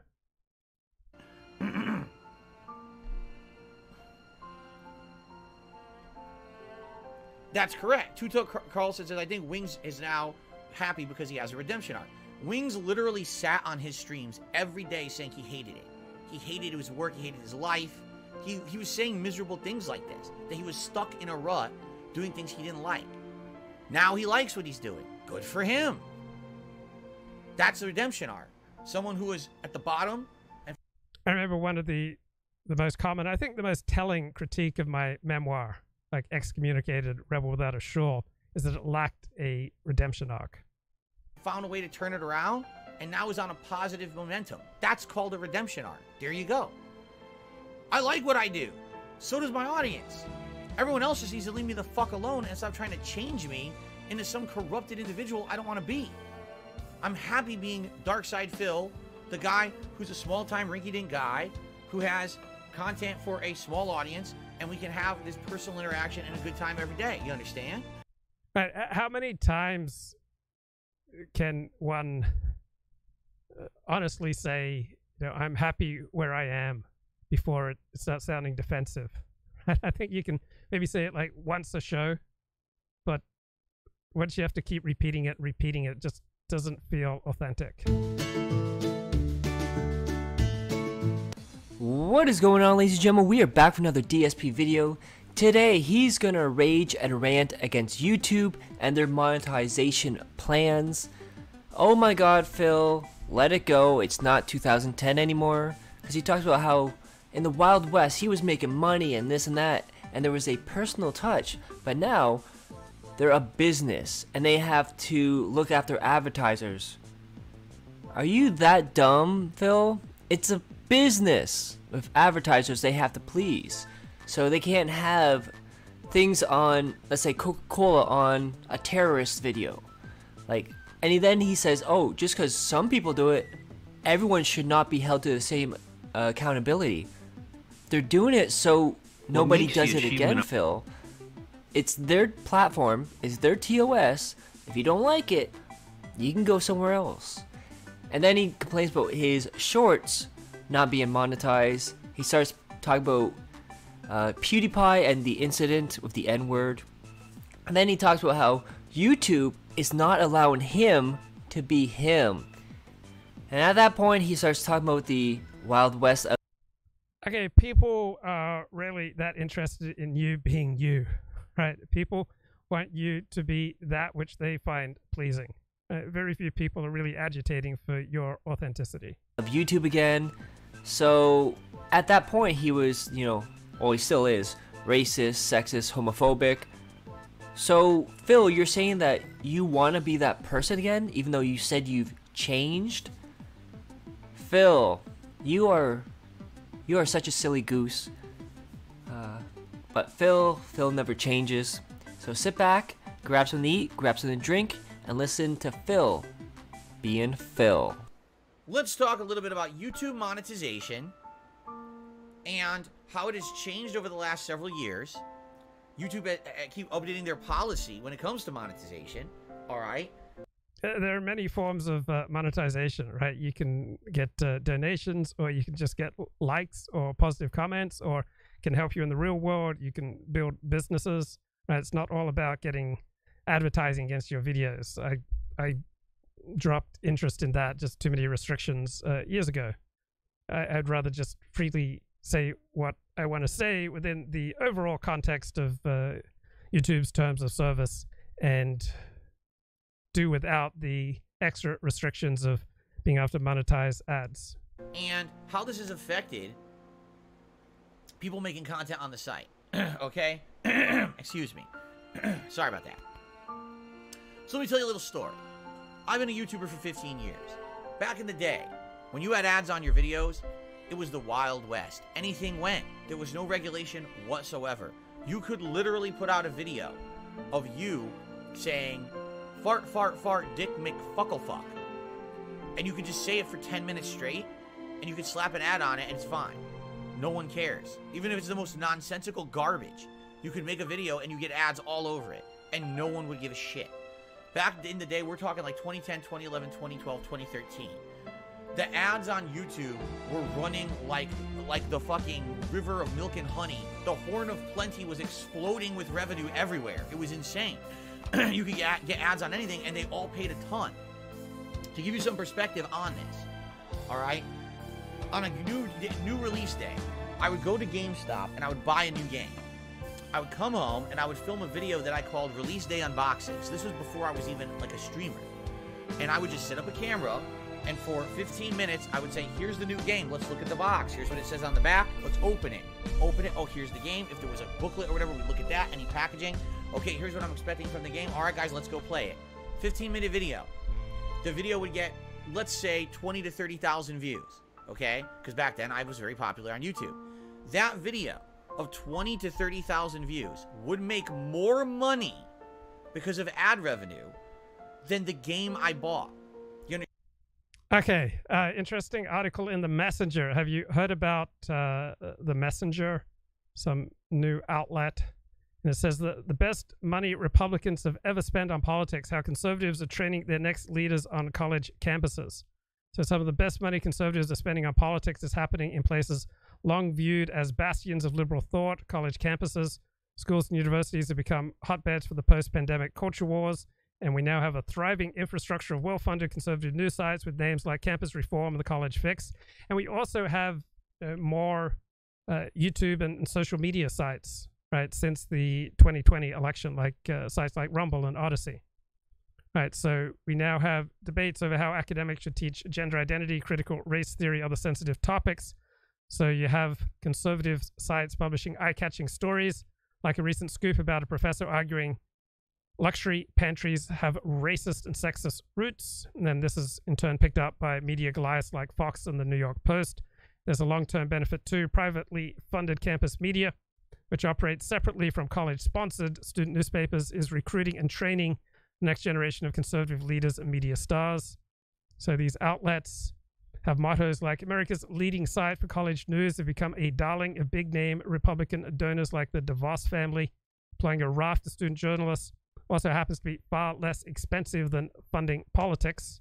Right? You don't change many names, you know, buying advertising. This may very well be far more effective use of funds. The three organizations primarily responsible for funding on campus conservative media spent roughly 15 million over five years to keep the publications afloat. So if you believe that liberal media bias is a problem and it distorts everything, then you'd want to you know, support things like uh, like this. So looks like uh, conservatives getting some pretty big bang bang for the buck. Right, this is what uh, I was listening to this morning to uh, get uh, get centered. Um, I want to take a moment and kind of review what's happened to us as we've worked the steps up to this point in time. How have we changed at this moment? Now, I've described the steps before as kind of following the arc of our own personal development you know we come into this world in a very very undifferentiated state. You know we're two little we're a we're, we're a sperm and an egg that come together and start to create life. And that egg that that is now fertilized starts to divide and which each division it's differentiating into what we can be. And all of that's taking place within inside the mother's womb. We're completely dependent on our mom for so differentiation means that if you're an artist you know you take time to paint. If you're a speaker you take time to speak. If you excel at knitting, you take time to to knit, right? You become who you are. Everything, oxygen, nourishment, you know, security, um, safety, everything. We're 100% undifferentiated from her. And the first act of differentiation is our birth. And the first thing that we do when we differentiate, other than coming through the birth canal, which we all did, or through a C-section, but as soon as we come out into this environment, now we need to start supporting ourselves. And that's where the first breath of our life takes place. Now I'm inhaling and exhaling, so I'm providing myself with the oxygen I need to survive. I am now starting to support myself. I am now on this path of differentiating myself biologically. And as we've mentioned before, the biological differentiation is is just something that's instinctual. It's just going to unfold. Nobody told you to walk. You wanted to walk because that's what you could do. That's what you wanted to do. You wanted to do what you were what was possible for you to develop that ability to become whole, to actualize yourself. Well, we also have that same drive on an emotional, you know, psychological and spiritual level. The problem is, is it's not instinctual in the way the biology is. The biology is hardwired. And for us to now differentiate into being what we can be, we need certain experiences. We need a certain kind of attachment that people write about all the time, a secure attachment. And they, there's you know tons of books out there about what happens when you don't get that. Bowlby was the first one to talk about all of this stuff.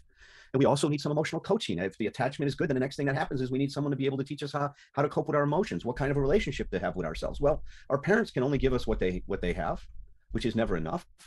And it goes to this whole idea that that Theodore Isaac Rubin talked about in, in his book Compassion and Self-Hate is that we're victims of victims. So parents, no parent is feeling completely good about themselves. Everybody we know has a self-hating process, and they teach us to hate ourselves. They teach us to construct a false self. They teach us to construct a despised self. And so now the world starts spinning around all these should demands. And if I'm this way or that way, I'll be okay. And so we create a, an incredible distance from who we are to become what we think we should be. So we actualize a concept of ourselves rather than actualizing ourselves. And we all do that to try to control what our experience is, to make sure that we're going to be loved, to make sure we're going to be accepted, and make sure we belong. My God, you know, what an order to make sure that we're going to be accepted, belong, and and to be loved. And you know, we start to hatch this plan very early in life, and it continues to unfold as our cognitive processes develop and as we transform. You know, our cognitive Right, it's a wonderful thing to be loved and to connect, but are you willing to sell out your own integrity and your own uh, value system to do it? On the other hand, are you so determined to live out your particular value system that you place no importance and no willingness to compromise to stay connected to the ones you love? cognitive abilities and Piaget pointed all of that trans transformation that takes place in us cognitively and it's it's a wonderful study. But here we are now in our life and most of us i call that the trance. That's the trance we put ourselves in and that the culture puts us in right? That we have to be what we think we should be to be okay and a lot of times we don't realize that that's even a problem. We just dedicate our lives to it and it becomes our reality until something happens some event happens in our life and we start to realize the personal limitations of the trajectory of our life. And that's when a lot of people come into recovery when they've hit this crisis and they realize that look what I, i've been asleep. My god there's so much i don't know. There's so much i don't know about life. There's so much i don't know about what i need to take care of do to take care of myself. And that's that is the the wake up call that happens in step one in many ways we start to wake up to the reality that we are not who we think we are that life is not what we think it is and that there's a whole new possibility that many of us could never have imagined So this is how that worked out for for me. I heard about step four right before I'd even properly worked step one, step two, step three. I heard about step four. It kind of begins with making a list of your resentments. So I took my 12 step uh, program book to Starbucks and I read through the first three steps. And I got into step four and said, you know, make a list of everyone you resent. So I think at the top of my list of resentments were rabbis who'd asked me to, you know, stop attending their their synagogue, and I think I had, you know, Dennis Prager on there because when I first met Dennis Prager in Tampa Bay in uh, late January of 1994, he said if I moved to Los Angeles, he might have work for me. Then I moved to Los Angeles and he didn't have work for me. And so I felt, you know, let down and disappointed. And there may even been, you know, a little bit of uh, resentment in there. And then I, you know, listed uh, these two women who had uh, cheated on me.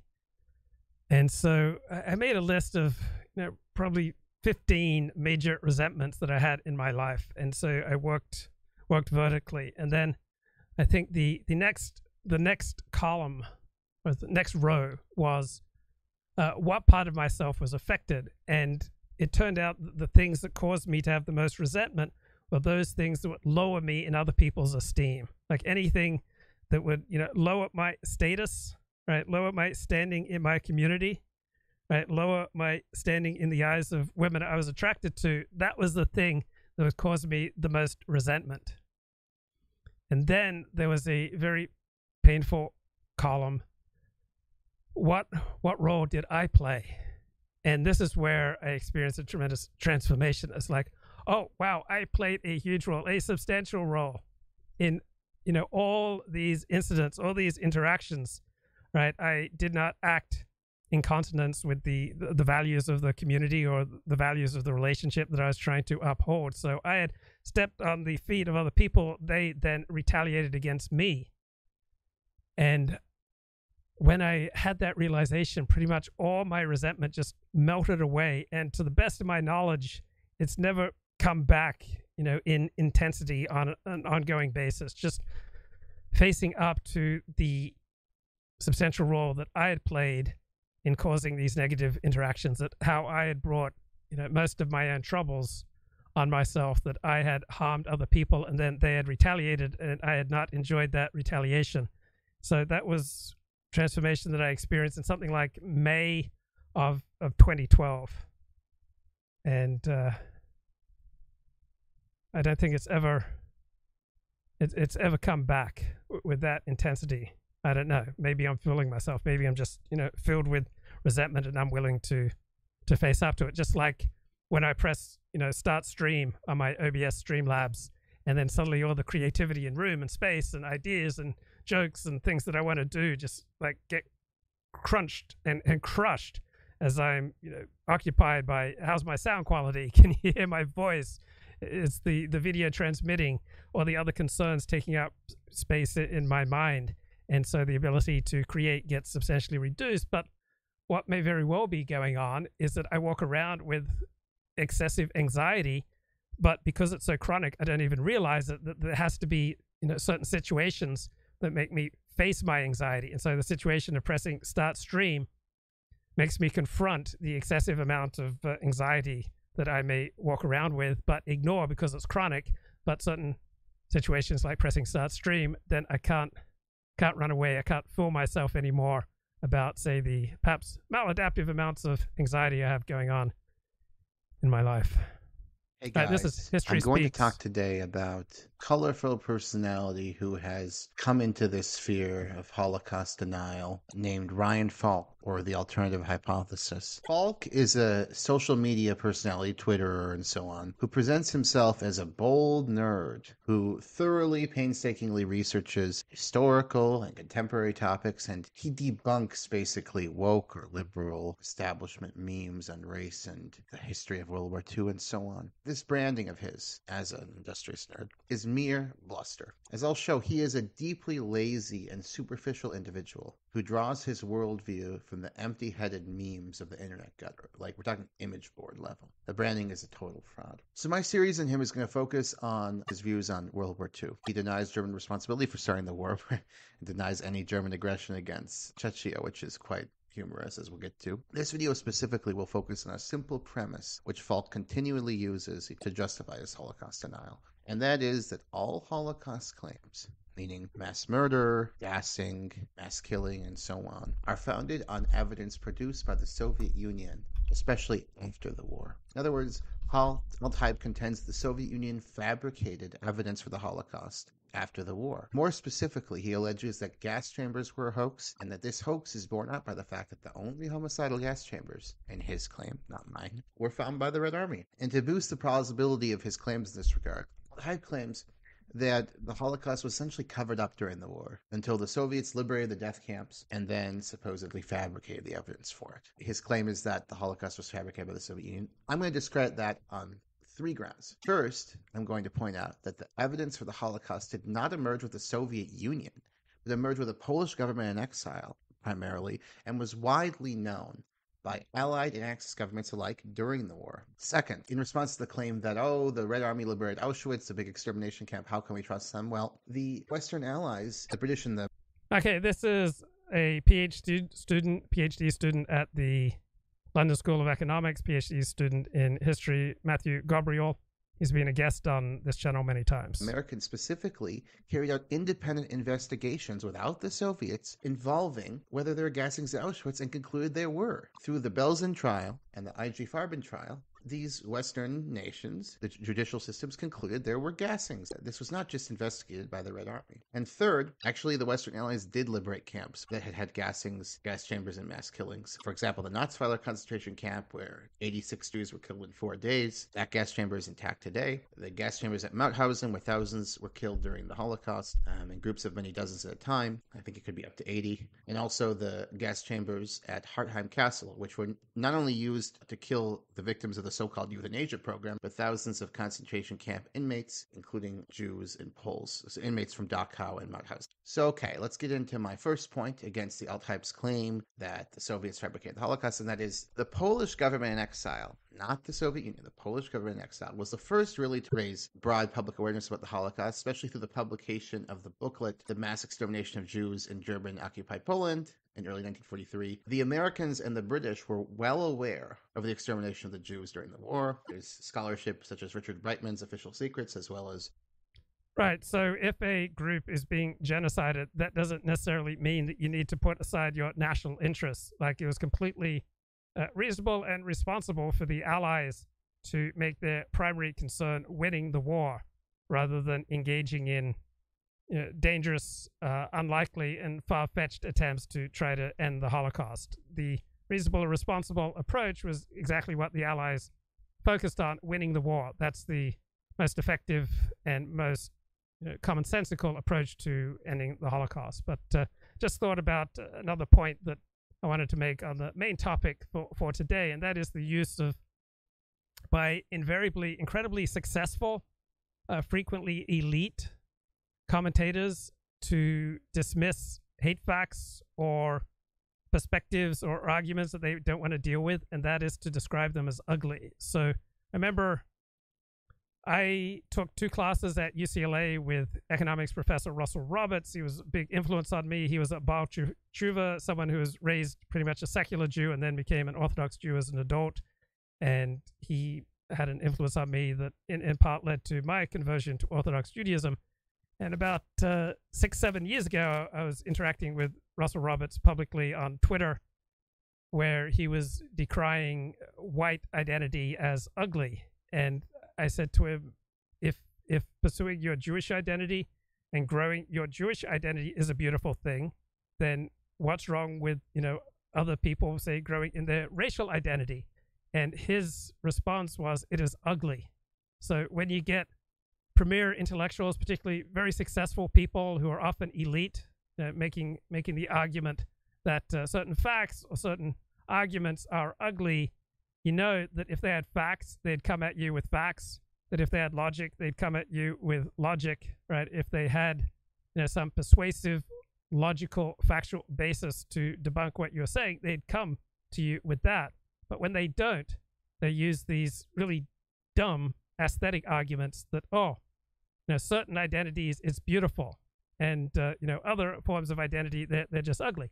So yeah, if you are really strong into say building your white identity, you're not going to be very happy or successful in United States, England, Australia, uh, France, uh, Germany right now. Right, this is not an environment because so many people are interested in their white identity. You know, go out and do heinous things and start shooting people up. So a normal normie reaction to people who are concerned about their white identity is go, ah, you know, do we have a you know a freak on our hands? Uh, on the other hand, you know, pursuing your Jewish identity or your gay identity or your Muslim identity or your minority identity, that's much more socially acceptable. But even still, in our multicultural world, if your identity pursuing, particularly on racial grounds, you know, black, brown, yellow, you know, black, uh, Latino, Asian, you know, you're going along at a 7, 8, 9, 10 out of 10 in intensity, uh, glorifying and pursuing your your racial identity, you're probably not going to do too well. There's going to be pushback, even even in you know your your perhaps uh, sacred and, and protected minority status. Generally speaking, in a multicultural society, you know people tend to be less and less uh, comfortable with those who are obsessed with their racial identity. Even something as socially acceptable as developing your Jewish or your, your gay or your Muslim identity, all right, at a certain level of intensity, you're going to grate on people right? It's not going to work out.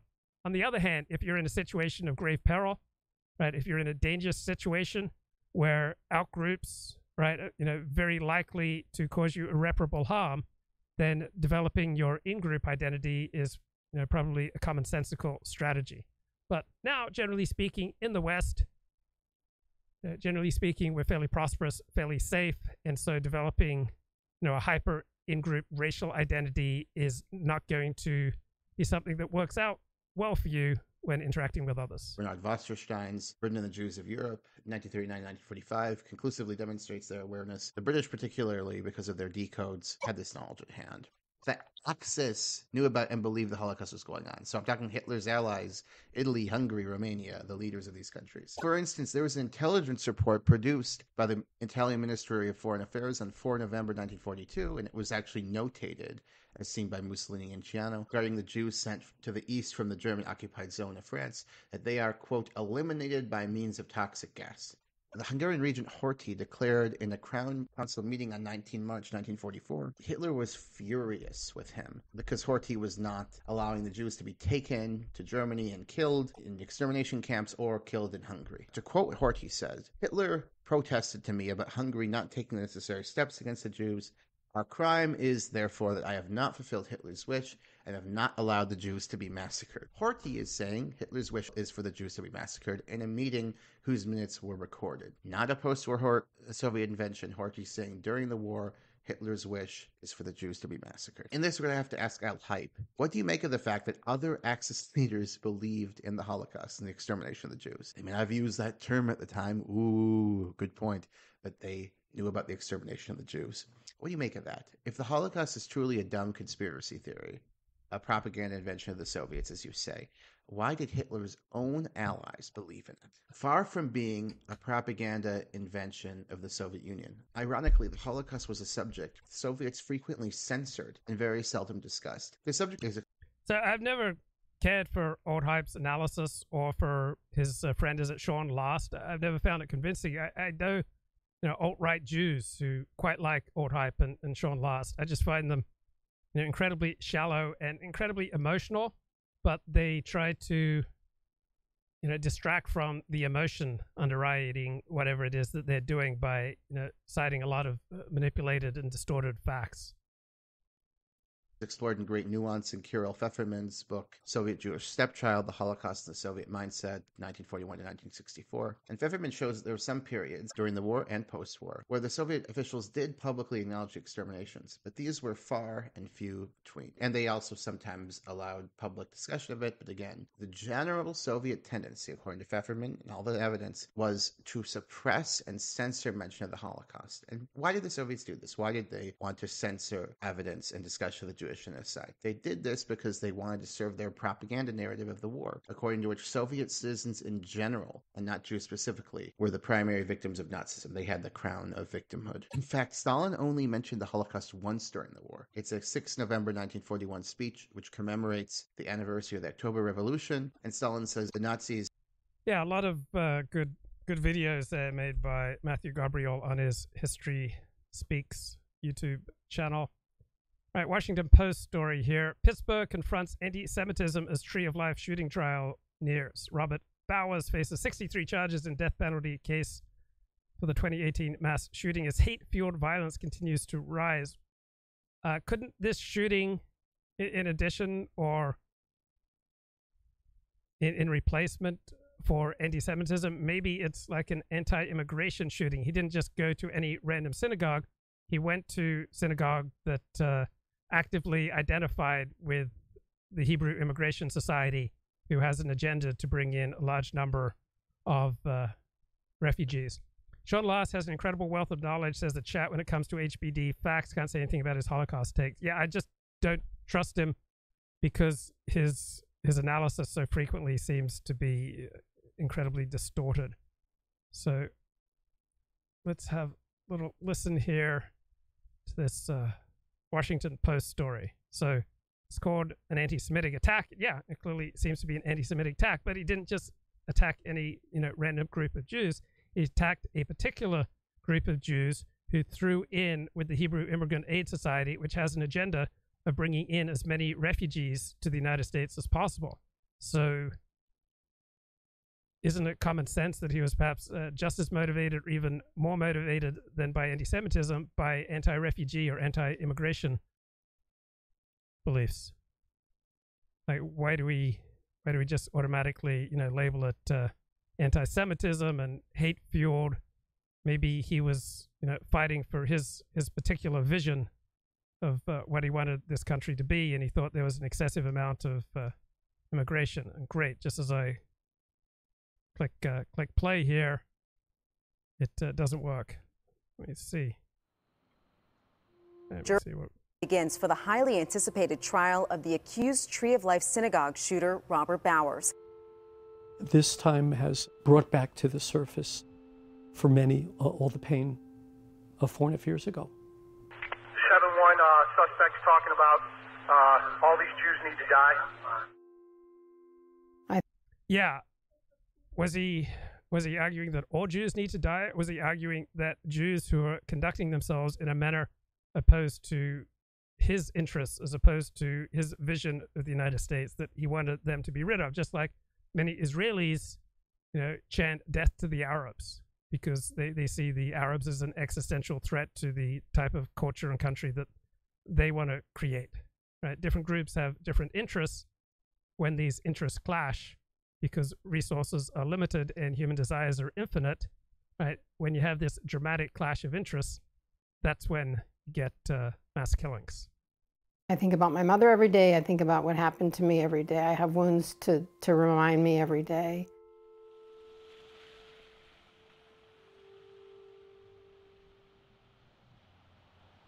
So, if convicted, he could face the death penalty. Survivors, victims are bracing for weeks of testimony they fear could re traumatize the community. Here it is. I love this picture. My mother loved purple. My mom was Rose Mallinger. She was a special lady. She loved her family, first and foremost. My parents joined the Tree of Life Synagogue before it was even at Wilkins and Shady. They joined when they got married. We all grew up there. So we don't get to determine how other people treat us, but we do have a vote, right? We don't have a veto, we do have a vote. So, how Jews behave, how Christians behave, how Muslims behave, how gays behave, how any group behaves, it's going to have an influence on how other people treat it, though it's not going to necessarily be determinative. So, if your group gets attacked, that doesn't mean you've done things wrong, that you're bad, that you brought it on yourselves. But it is worth questioning was there some you know, choices that uh, the group made that increased the odds of bad things happening? If you walk alone in a bad part of town and then you get attacked and robbed or, or beaten or worse, right?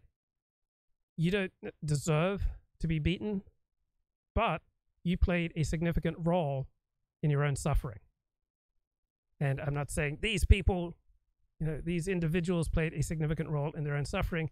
I say that uh, individuals and groups in general often play a role you know, I'm not going to say these, you know, these poor people who, who got shot and killed. I'm not not condemning them by by any means.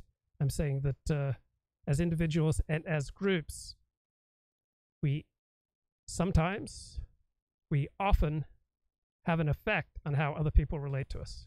And we all thought she would have lived to at least 100 because she she was sharp as a tack. She and the chat says, but then why did he single out Jews? Why didn't he target those who promote immigration? Well, if you're a particularly effective and influential group who has an outsized impact on society, you have you know, amounts of, of power, influence, uh, money, uh, productivity, accomplishment, then you are going to attract you know far more attention, both positive and negative, than groups which have a below average amount of power, influence, productivity, accomplishment, money. So Jews have been particularly influential in the United States. They have you know, created many businesses. They have been disproportionately influential in culture, in, in politics, in, in business, in parts of academia, in parts of the profession, such as the medical, legal, dental, accounting professions. With great power, with great influence, with great success comes added scrutiny and added pushback. She just she just loved life. So she was 97 when she was killed. There were two people who were shot. The overall thing that helps survived. me move forward is that I'm alive. Uh, I came very close to death. My mother was very strong, and I feel that I have strength through her.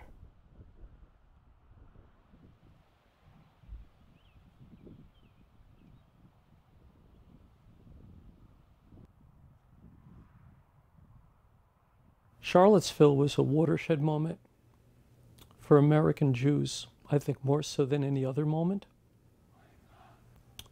to see um, all those people carrying torches. What was a watershed moment for Jews arming themselves and improving security? It was not so much this Tree of Life shooting that killed 11 Jews.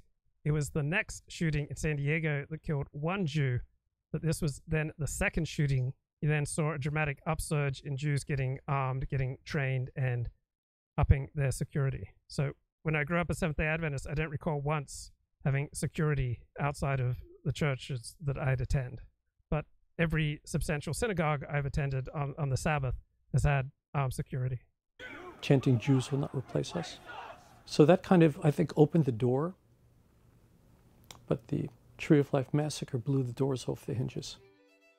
As the suspect keeps telling about uh, killing Jews, uh, he doesn't want any of them to live. And it said to, sadly, to every Okay, so what people say, particularly in times of stress, is not necessarily 100% X-ray to their soul. I wouldn't dismiss it and say it, it you know, it means nothing. Know, obviously, uh, Mel Gibson, when he'd get drunk and rant about Jews, that reflected some real animus that he had towards Jews. But you can't take people 100% literally. This, you know, sums them up when under, you know, times of extreme stress, they they say extreme things. Right synagogue in the United States. We're not safe anymore.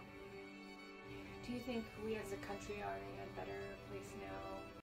Well, there are plenty of Americans who don't feel safe due to the large amount of immigration that we allow into the country. There are Americans who don't feel safe because gay marriage is the law of the land. That violates their hero system. And and why is, you know, one hero system invariably superior to another hero system? So let's say you have a liberal hero system that celebrates gay marriage. And then you have a different hero system that regards marriage as exclusively a heterosexual institution between one man and one woman. If the latter, if your traditional conception of marriage is an integral part of your hero system, then the Supreme Court mandating gay marriage is going to be experienced as a violation of your hero system, as a threat to everything that you hold sacred. If you view the U.S. military as a heterosexual institution, then uh, mandating the inclusion of, of, gays into the U.S. military will be a violation of your hero system.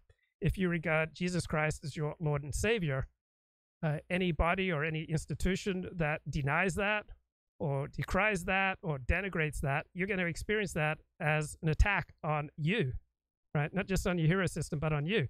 If you believe that uh, Muhammad was the greatest of the prophets and that God revealed the ultimate and most clear expression of his will through Muhammad, any criticism, any denigration of Muhammad and the Quran, you're going to experience that as an attack on yourself.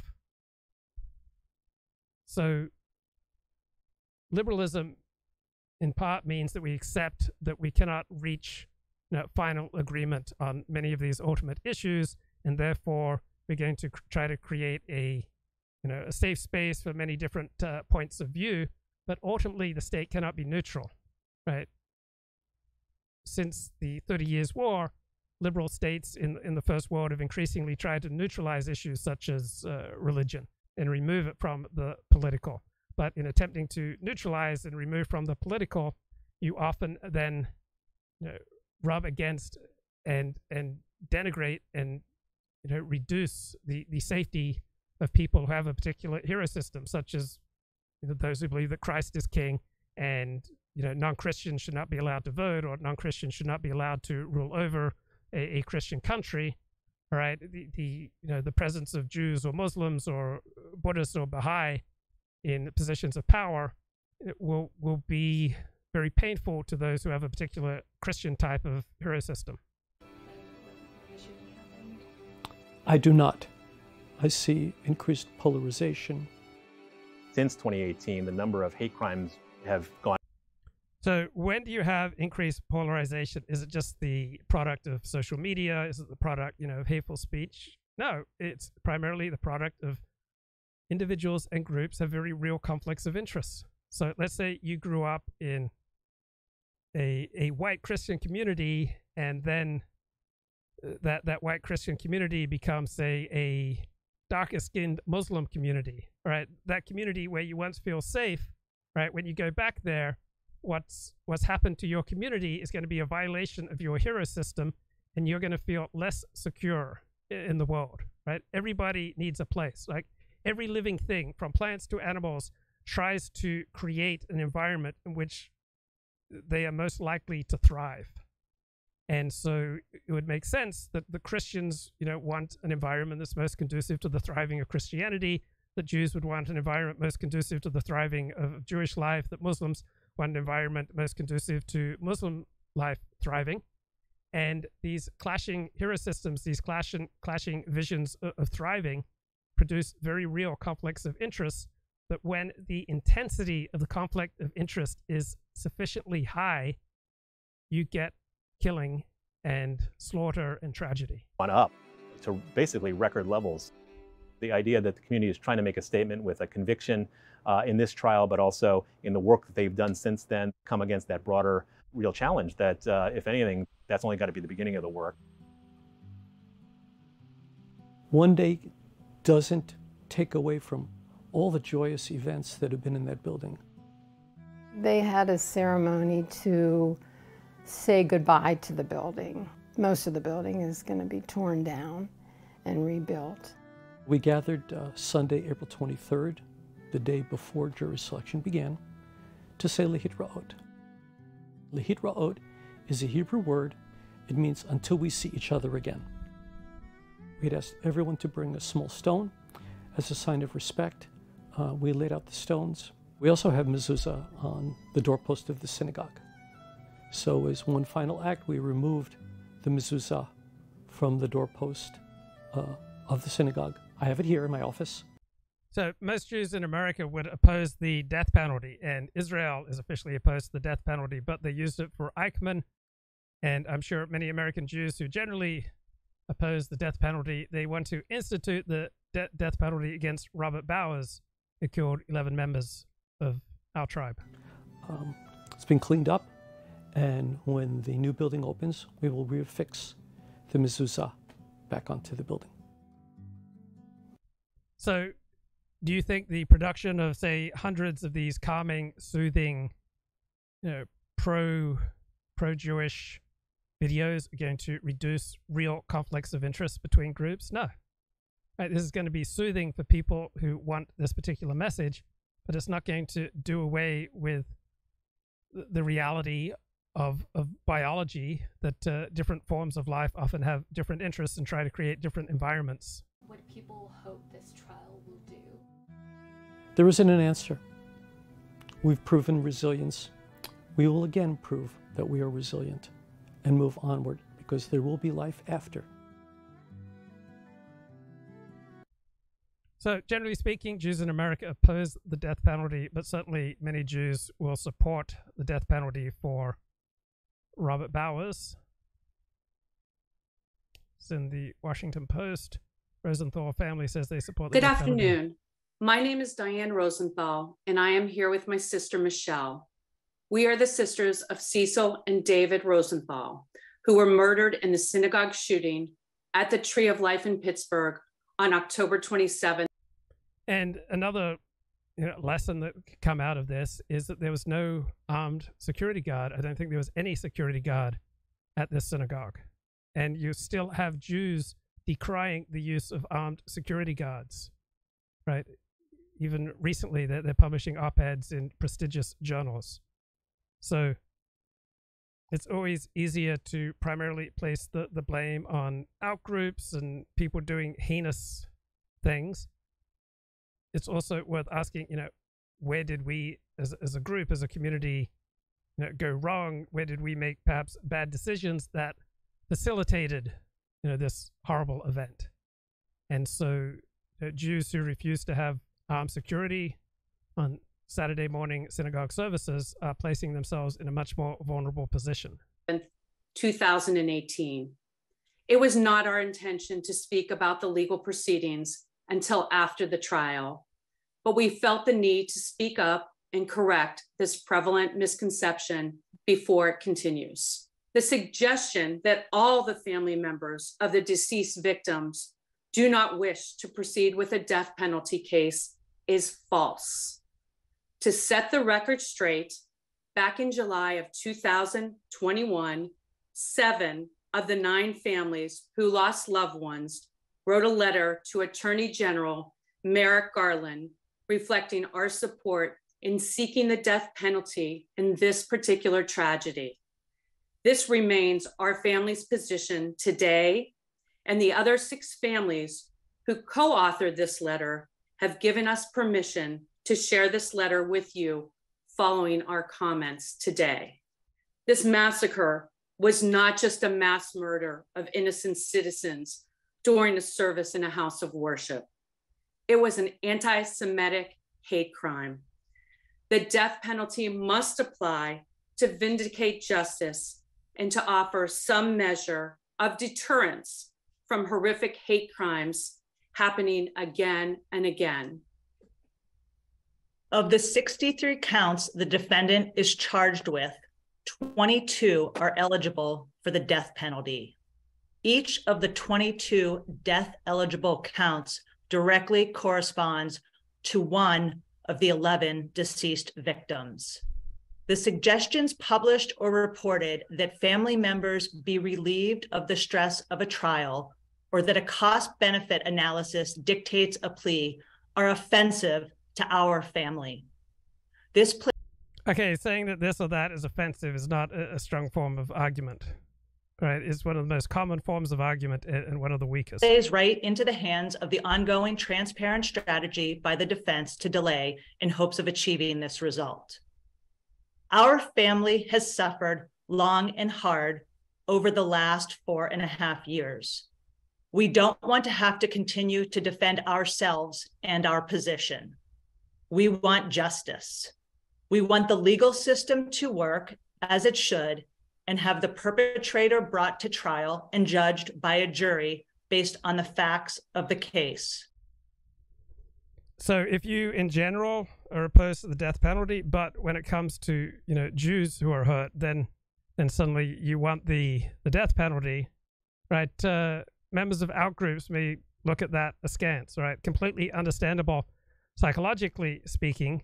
But if you promote, you know, a double standard for how people should be treated treated on, on the basis of whether or not they, they harm Jews, right? It's reasonable to be, expect that you know many non-Jews will not be not be thrilled by that. And it used to be socially unacceptable, right? It used to be socially unacceptable for any minority group to place the interests of their group ahead of the nation state of the United States of America. But since the 1960s, it's become increasingly acceptable for, for various minority groups to place their own group's best interests ahead of, that of the country. So Bradley Shavit Artson is the head of the rabbinical school at the University of Judaism, which is a conservative Judaism institution in Los Angeles. And I remember he wrote and he spoke about how he stopped putting on tefillin, how he stopped performing various Jewish rituals, and how he came to have a big problem with God because six million Jews died in the Holocaust. So hundreds of millions of Jews, uh, of non-Jews in, in history have been slaughtered, tortured, raped, and and that didn't cause you know Rabbi Artson to uh, you know have negative feelings about God or to stop performing various Jewish rituals such as putting on tefillin. But when he thought about how Jews had suffered, right, then he was mad at God, right? So uh, members of our groups are not necessarily going to have you know a great deal of respect for for this type of you know in-group versus out-group morality. Okay, let's see if there's anything going on here with Fox News. Have instantly gone to work sweeping away the shocking conclusions of special counsel John Durham's report. The media won't relay facts from the report honestly because, of course, the media were complicit in the absolute con from the start. We are in parallel universes because Donald Trump and many conservative media people see this Stern report as a vindication of the former mm -hmm. president and that the FBI uh, probe should never have been started. At the same time, most of the mainstream media have been knocking it down. They are so invested in the Trump Russia collusion saga. Uh, and, and, and, it's hard. And what they're saying is it's a nothing burger. It's a waste of time. Uh, it is uh, not one person went to jail, hardly the crime of the century that Trump predicted it would be. So you have these completely different. And it is certainly true that, that because journalists uh, spend so many years uh, uh, covering this, I would say over covering this, I would say overhyping this. Uh, they can't quite let it go. They won Pulitzers. uh, won Pulitzers for the New York Times and the Washington Post, and it just seems to me that um, this it's like deja vu. This has been going on for years. It's never going to end. Well, and hearing one of those bites that was this investigation should have never happened. It was about Durham, not the Crossfire Hurricane. Kevin, that's right. you Look, could use that bite either way. You, you, you could, and, and I would just say, regardless of what someone thinks about President Trump politically, that if you take a step back and look at the FBI from a, a policy and ideas point of view, it's clear that it's become politically weaponized. Ask Mark Houck in Pennsylvania. Ask the pro life activist who's being hounded this weekend, probably as we sit here, Shannon, by two FBI agents. Ask anyone who's a reasonable conservative, and you know that this is an agency, and I mean this very intentionally as a policy objective. It needs to be started over from scratch and rebuilt. This is not a law enforcement agency, it's a political weapon. Well, wait a second. If I imagine, if I knew Hillary, you might disagree with that. Imagine if Hillary Clinton. Okay, let's have a look at the chat. How much of synagogue security is subsidized by the state? A considerable amount of synagogue security is subsidized by the state. State subsidies are handed out basically in proportion to hate crimes. So the more hate crimes and shootings there are of Jews, then a higher proportion of state subsidies are handed out to uh, Jewish institutions, which doesn't seem unreasonable. Okay, let me take the edge off with a little more Allen Berger here to wrap things so up. So there's already so much that's being activated. You know, the fires of change are being stoked with step one, is the way I like to think about it. And this is what Dr. Branden says about, about acceptance. He goes, to accept is more than simply to acknowledge or admit. So hear that. To accept is more than simply to acknowledge or admit. It is to experience. It is to stand in the presence of the reality. It's to contemplate the reality, to understand what that means for you, to absorb and start to integrate that reality into our consciousness. You've seen Herb do this a million times. He talks about it's not about here, it's about here. You have a lot of information, but no transformation. That's what acceptance is. It's moving things from here to here. It's an experience of who we are and what we are. So, with that being said, I will turn it over to Herb and we'll have his comments and then Roger. So, where are you, my friend? I need to. I'm, I'm definitely here. I know you are, but I let me. I have to get out of here. Mhm. All right, tag, you're it. Thank you very much, Allen. Um, yeah, and, and you also gave me a, a new perspective for how we're approaching this, which is applying each of the steps to all of the pillars. And so that helped me a lot because I, I wasn't, I, I hadn't broadened my lens sufficiently to incorporate that. and you used the, spend some time with admit, which is in fact the word in step one, admit to our innermost self. And yet, Bill, uh, in the big Yeah, my first few years of recovery, I, I didn't really do enough admitting. But when I, I worked step one thoroughly, I remember I kind of walked around in moderate version of shock for weeks when I just came to terms with the extent of the damage that my out of control behavior had done to me and, and to other people. Uh, the extent to which I'd ruined my life through bizarre attention seeking, through you know, selfishness, through you know, treating other people instrumentally to try to meet my needs, through my self-aggrandizement, through you know, just uh, uh, crazy, irrational, you know, hateful, spiteful, nasty behavior. Just seeing the damage that I'd done, like admitting, was a really big step for me becoming more aligned with reality. And it still is on an ongoing basis when it's like, oh my God, you know, I admit that I spoke out of turn, that I, I took what was not mine, that I trespassed on other people's boundaries, that I, you know, made a joke that made, you know, various women feel unsafe. book has a much more profound in the way that you were suggesting it much different than just admit or accept he has a much different word um, and i think it's there is a solution uh, on page 30 he says we need to concede to our innermost self that we are not And a question in the chat could 40 discuss the dignity of the victim in Jewish thought? So, the only Jewish teaching, which I believe is repeated in all five of the books of the, the Torah, is that if man sheds blood, then by man must his blood be shed. So, to honor the dignity of the victim, the perpetrator generally speaking, must be put to death for committing murder. It's an absolute essential pillar of the Jewish perspective on life that you're not respecting the dignity of life if you allow those who gratuitously and spitefully and maliciously uh, take the life of innocent people to continue to live. Like other people. Concede is very much along the lines that you were talking about to our innermost self, much deeper than just admit.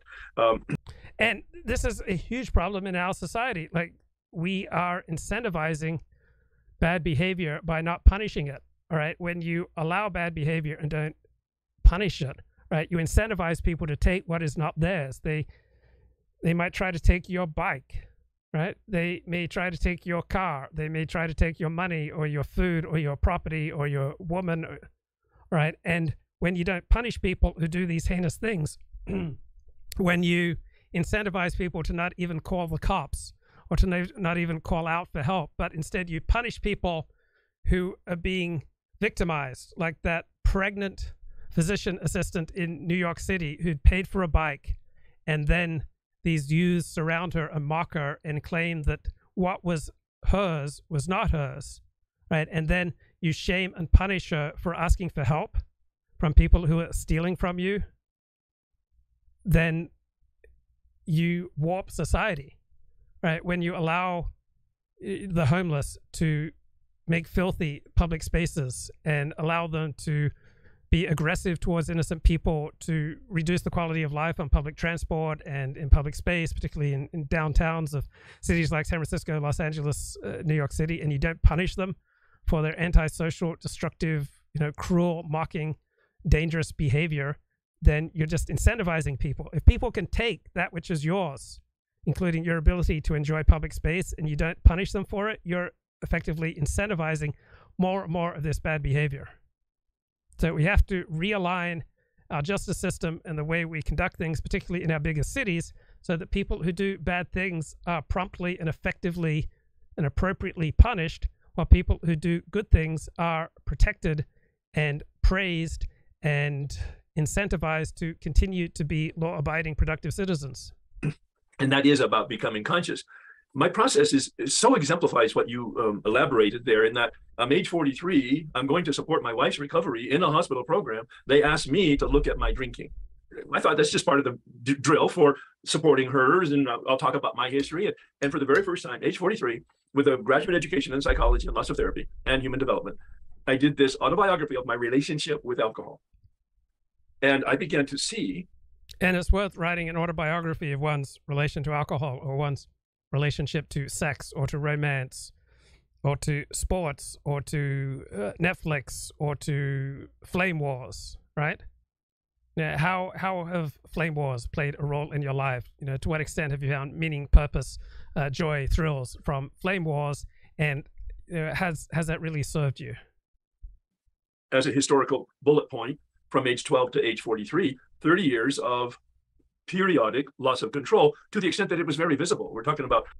So, in my you know sexual and romantic history, there's just frequent loss of control, loss of, of good judgment, that uh, the power to make you know wise, sober decisions in the area of you know sex and romance is is not a power that I have sustained over the course of my life. Right?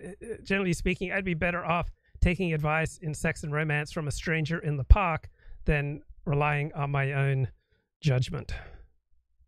Same too goes with, say, underearning, uh, times with regard to debting, with regard to living life in community, and and uh, halting some of my inclinations to you know make jokes or to be the center of attention to try to preserve a you know safe, happy space for myself in in a community jails overnight and hospitals and lots of embarrassment without the details uh, to tonight. But I could see them, and it began to shape the puzzle piece as the beginning of the information that I needed. But when I read it out to a public group in that hospital, as they had asked me to, it just washed over me as it.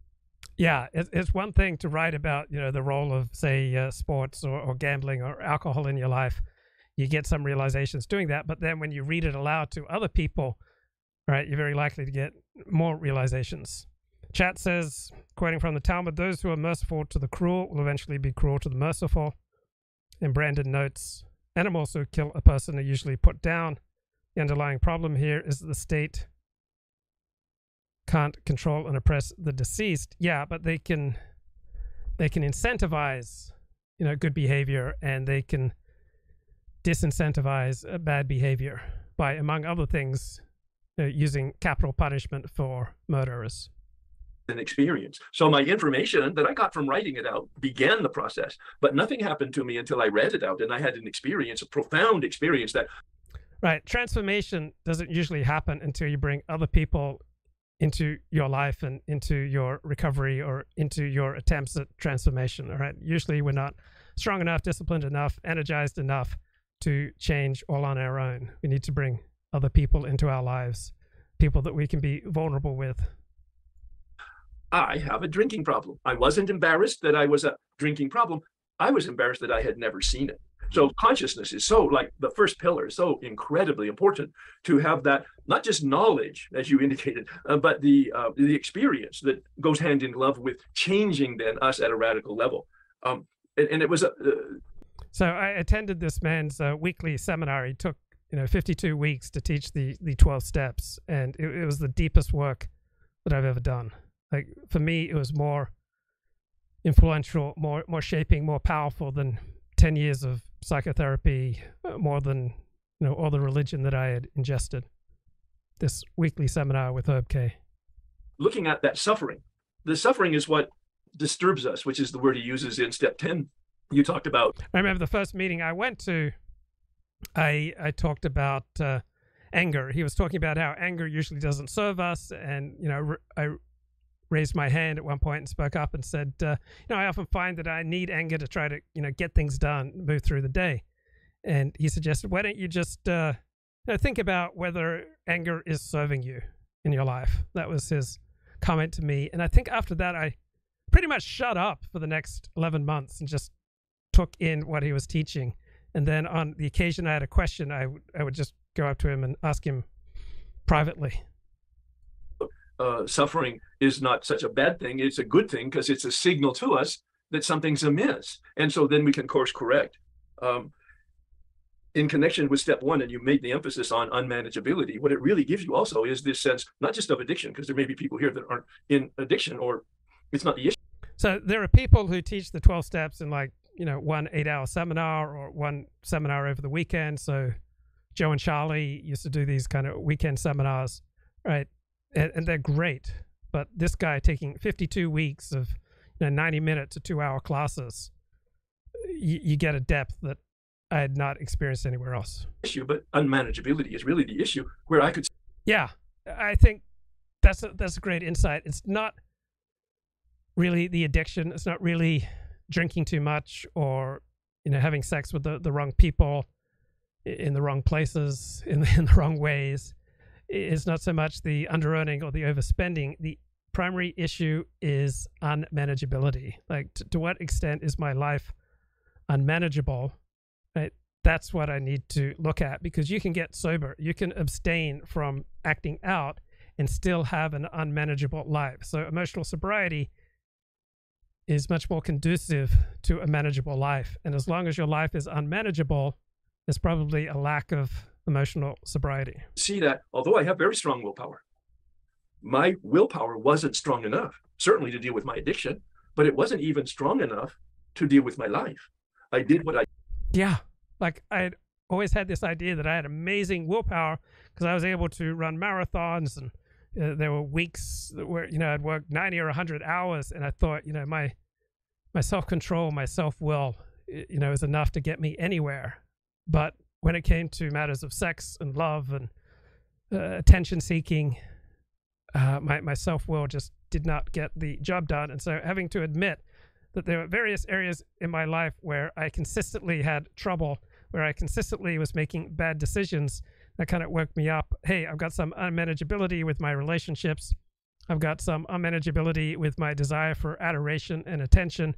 I've got some unmanageability in my desire to participate in flame wars and to provoke and to instigate, to be the center of attention, to you know tick people off, to infuriate people. That I'm not using some good judgment here. I'm constantly acting not just against my own best interests, but against the, the best interests of people who like me and include me in their lives. I didn't want to do, and I didn't do what I wanted to do. My willpower was ineffective. And I became progressively, over a long period of time, aware of, consciously aware of the ineffectiveness of my willpower and my effort to create the life that I wanted, and that I really did need help. Step one, and, and Roger made it so clear in the original presentation about humility. Humility is just the So exercise, yeah, can definitely help. Like I probably suffer from excess anxiety and physical exhaustion through exercise is a fairly effective coping mechanism for anxiety. It enables me to get better sleep. When I don't sleep well, I am far more susceptible to self-destructive, selfish behavior where I step on the feet of other people and then they retaliate setting forth you know negative spirals of interaction. When i don't sleep well i'm much more likely to make inappropriate jokes to speak and and act without due foresight. So exercise calms me down helps me sleep better makes me less vulnerable to my underlying strata of poor judgment. Realization of the truth. And the truth was that on my own I'm ineffective with regard to my addiction, but also with regard to managing my life. In- and I completely agree here with autistic. Merritt says it's critical as diet, exercise, anything else is wholesome, holistic, well integrated social connection is paramount. yes. Right. There's nothing more important for for my well-being than my being connected with other people. And that has a profound effect on the things I say on this show. All right. I don't do the edgy stuff that I used to do that got a lot more views and a lot more money and a lot more attention because I, I realized that that edgy stuff was, you know, destructive to the relationships and sense of community and, you know, prosperity that I was building. In, the, in, in an effective way where I'm producing a life that flourishes. I was not. I was restless, irritable, and discontented as a and so I periodically notice that I'm getting restless, irritable, discontented. This usually takes the form for me, I get increasing resentment and increasing sense of anxiety and increasing levels of self hatred start washing over me. I just, I'm frightened to walk down the street. And these are all signs that uh, I need to return to, for me, to doing my recovery work. And that also includes some you know, meditation, uh, and this is what you know centers me, like listening to people like Herb k and Allen Berger here, and you know doing many of the exercises that they suggest, and finding community with other people who suffer the the same self-destructive compulsions as I suffer from. That is what I have found over the past ten years is most effective at helping me to let go of unnecessary resentment, unnecessary fear, you know, unnecessary anxiety. Way of life as a state of being and it was admitting that that was the humiliation that brought me to humility. The, Glib Medley has a great line here. Disagreeability is inverse to hours of sleep. Yeah, I've definitely found that. And uh, Brandon said it's edgy Luke who, who brought me here. Yeah, definitely time for for edgy jokes, edgy insights. But uh, you know, each edgemeister has to make appropriate judgments about you know what's really in his own best interest. Obviously, even doing a live stream on the controversial topics that I tackle now, even in the completely milk toast manner in which I tackle controversial topics these days, is still incredibly edgy and dangerous for my well-being. Even doing a milk toast show like this. That sense of complete defeat, and then Allen, you made a wonderful comment about integrity, and I, I, I could. Edgy Luke brought me here. I stayed for the Animus. It's like. Uh, people who told me they used to look at my old blog. They they came for the the porn gossip, but they stayed for the Torah commentary. Connected it to Bill's suggestion in how it works, that it's about rigorous honesty. Now I was able to do honesty in the beginning. Over time, it became more rigorous. But that's because I had accountability. Again, bringing in that humility. I really need help, and it's in this case, it's. So I'm striving towards uh, more honesty, but I don't mean by that you know, more honesty about other people's shortcomings, right? I mean, more honesty about, you know, my, my own struggles and my own failures and my own shortcomings. Human help. I needed a sounding board for transparency. And, and the combination of these kinds of things over a long period of time was transformational. So that's my experience with it. I mean, Herb K says that it verges on the impossible to have recovery if you don't get decent sleep. And I, I would add, it verges on the impossible to find recovery from negative compulsions if you don't, you know, integrate and connect with other people. Thank you so much, Herb. All right, let me grab Roger and remove. Herb, you are one eloquent son of a gun, man. I gotta tell you, I love, I love how you, ex- I love how you express yourself so much. man. As, as Thank you. Mary, my wife, uh, Mary Catherine Bridget Flanagan said, Herb, you- So the host of this show, Allen Berg, is a psychologist. Uh, this guy, Roger Andes, is a therapist. Uh, Herb K is not a psychologist, even though he did graduate study in it. I think he has a master's degree in psychology, but he's not a, a psychologist or a therapist. He is just someone who does seminars on the 12 steps and has 40 plus years of sobriety from alcohol. kiss the Blarney Stone. that, that's a great way to put it. That's a great way to put it as well. Thank you, both Alan and her, for that. Um, gosh, I had some comments prepared, but you guys have stimulated a whole bunch of other connections and associations here. So I'll, I'll. Uh, Autistic Marriott says, I watched Debbie Does Dallas solely in the role of the social commentator. I, I think I watched Debbie Does Dallas 3 and was viscerally moved by it while my father was in the next room, you know, studying the Bible. Right? Uh, That's how out of control I was. I was engaged in autoeroticism to one of the versions of Debbie Does Dallas with like an open you know, I was in the living room, my dad was in the kitchen, there was no closed door between us. You know, thank God he didn't walk in on me, but you know, when I think about that, it's like, yeah, I was pretty out of control. I'll stumble along as, as best I can here. I will start. Allen, you had mentioned the importance of acceptance. Be- Do people in LA still smoke cigarettes after AA meetings? Yeah. So AA meetings are meetings with people who are who are sex addicts who are trying to quit drinking. Right. So huge amount of screwing around, you know, after AA meetings and uh, large amount of uh, cigarette use and uh, coffee use and, and candy use. So it's usually a good strategy to try to you know, tackle first the addiction most likely to kill you. And if to give yourself the strength to do that, you need, you know, candy, coffee, cigarettes, screwing around. Uh, that seems to be what happens. So yeah, I love that description of AA. See, room full of sex addicts who are trying not to drink. because um, clearly that's a big part of what step one is about. Um, it's about alignment with reality, as you as you mentioned, Allen, and it's about acceptance as part of that alignment. It's about acceptance of reality. Um, and as I've heard you mention numerous times before, Allen, that one of the paradoxes that's implicit, at least in, in step one, is in admitting powerlessness.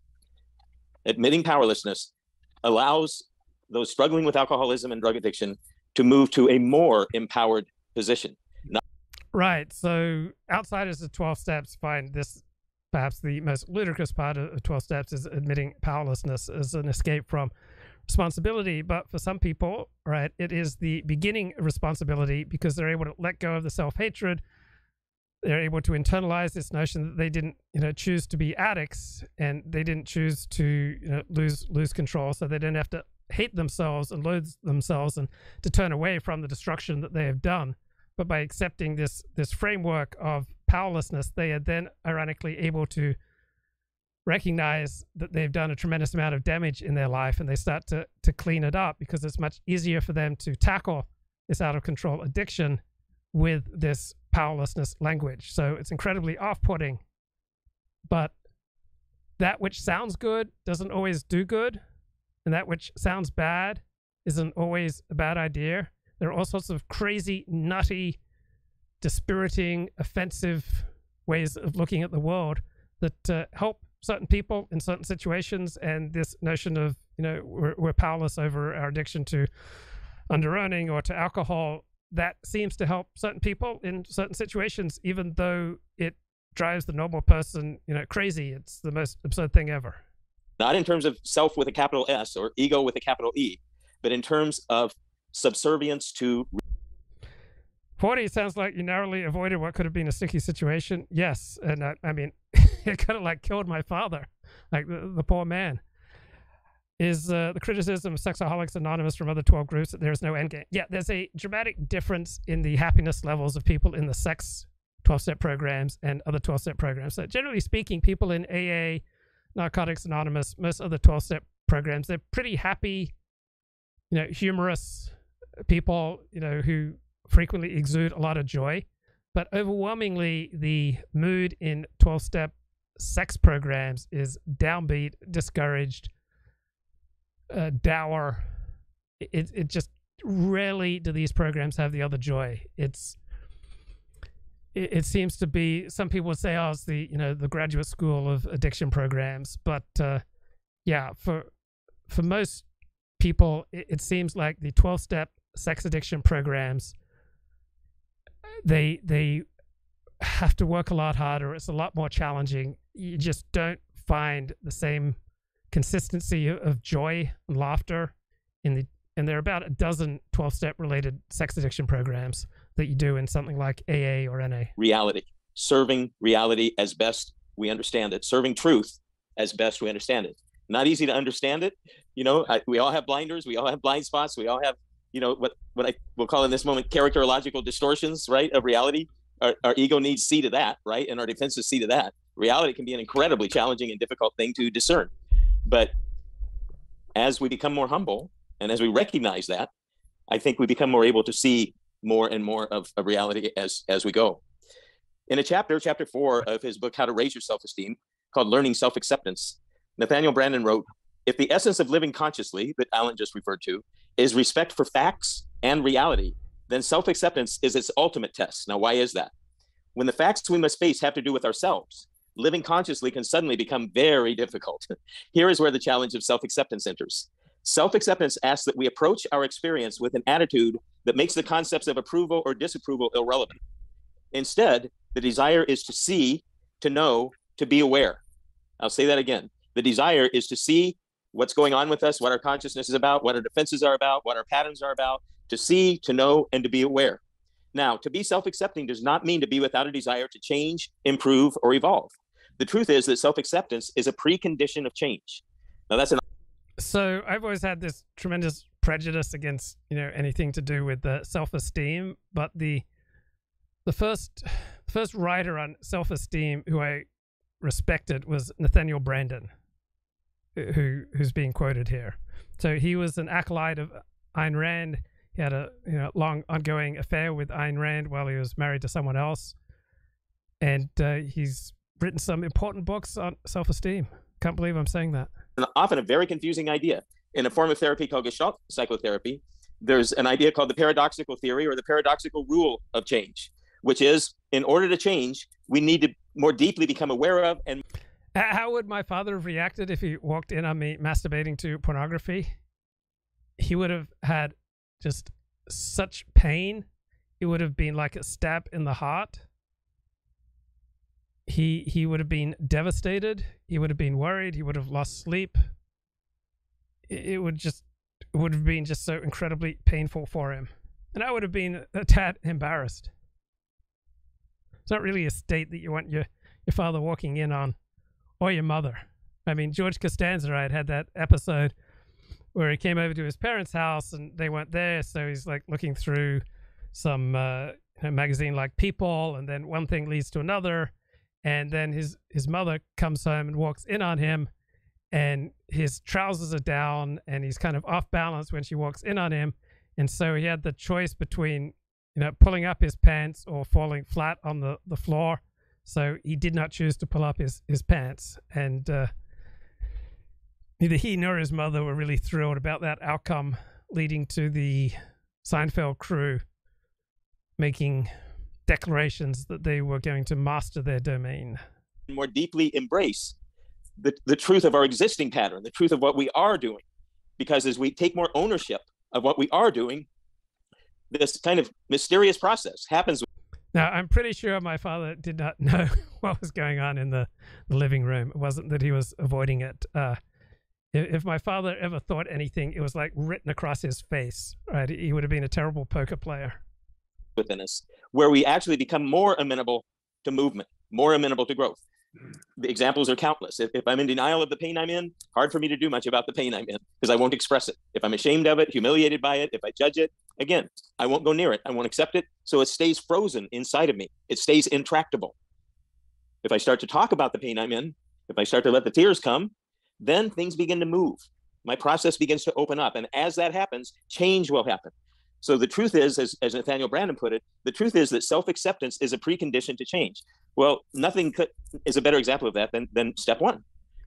Uh, Glib Medley says, hard to believe you couldn't get into Martin Amis. I didn't try that hard. There, there were two different books that I, I, I picked up, and I just didn't make uh, much progress. I may have made it through his memoir. Uh, if I did finish one of his books, it would have been his year 2000 memoir. Ah, so Steve Sailer had uh, some good observations about uh, the death of, of, Martin Amis.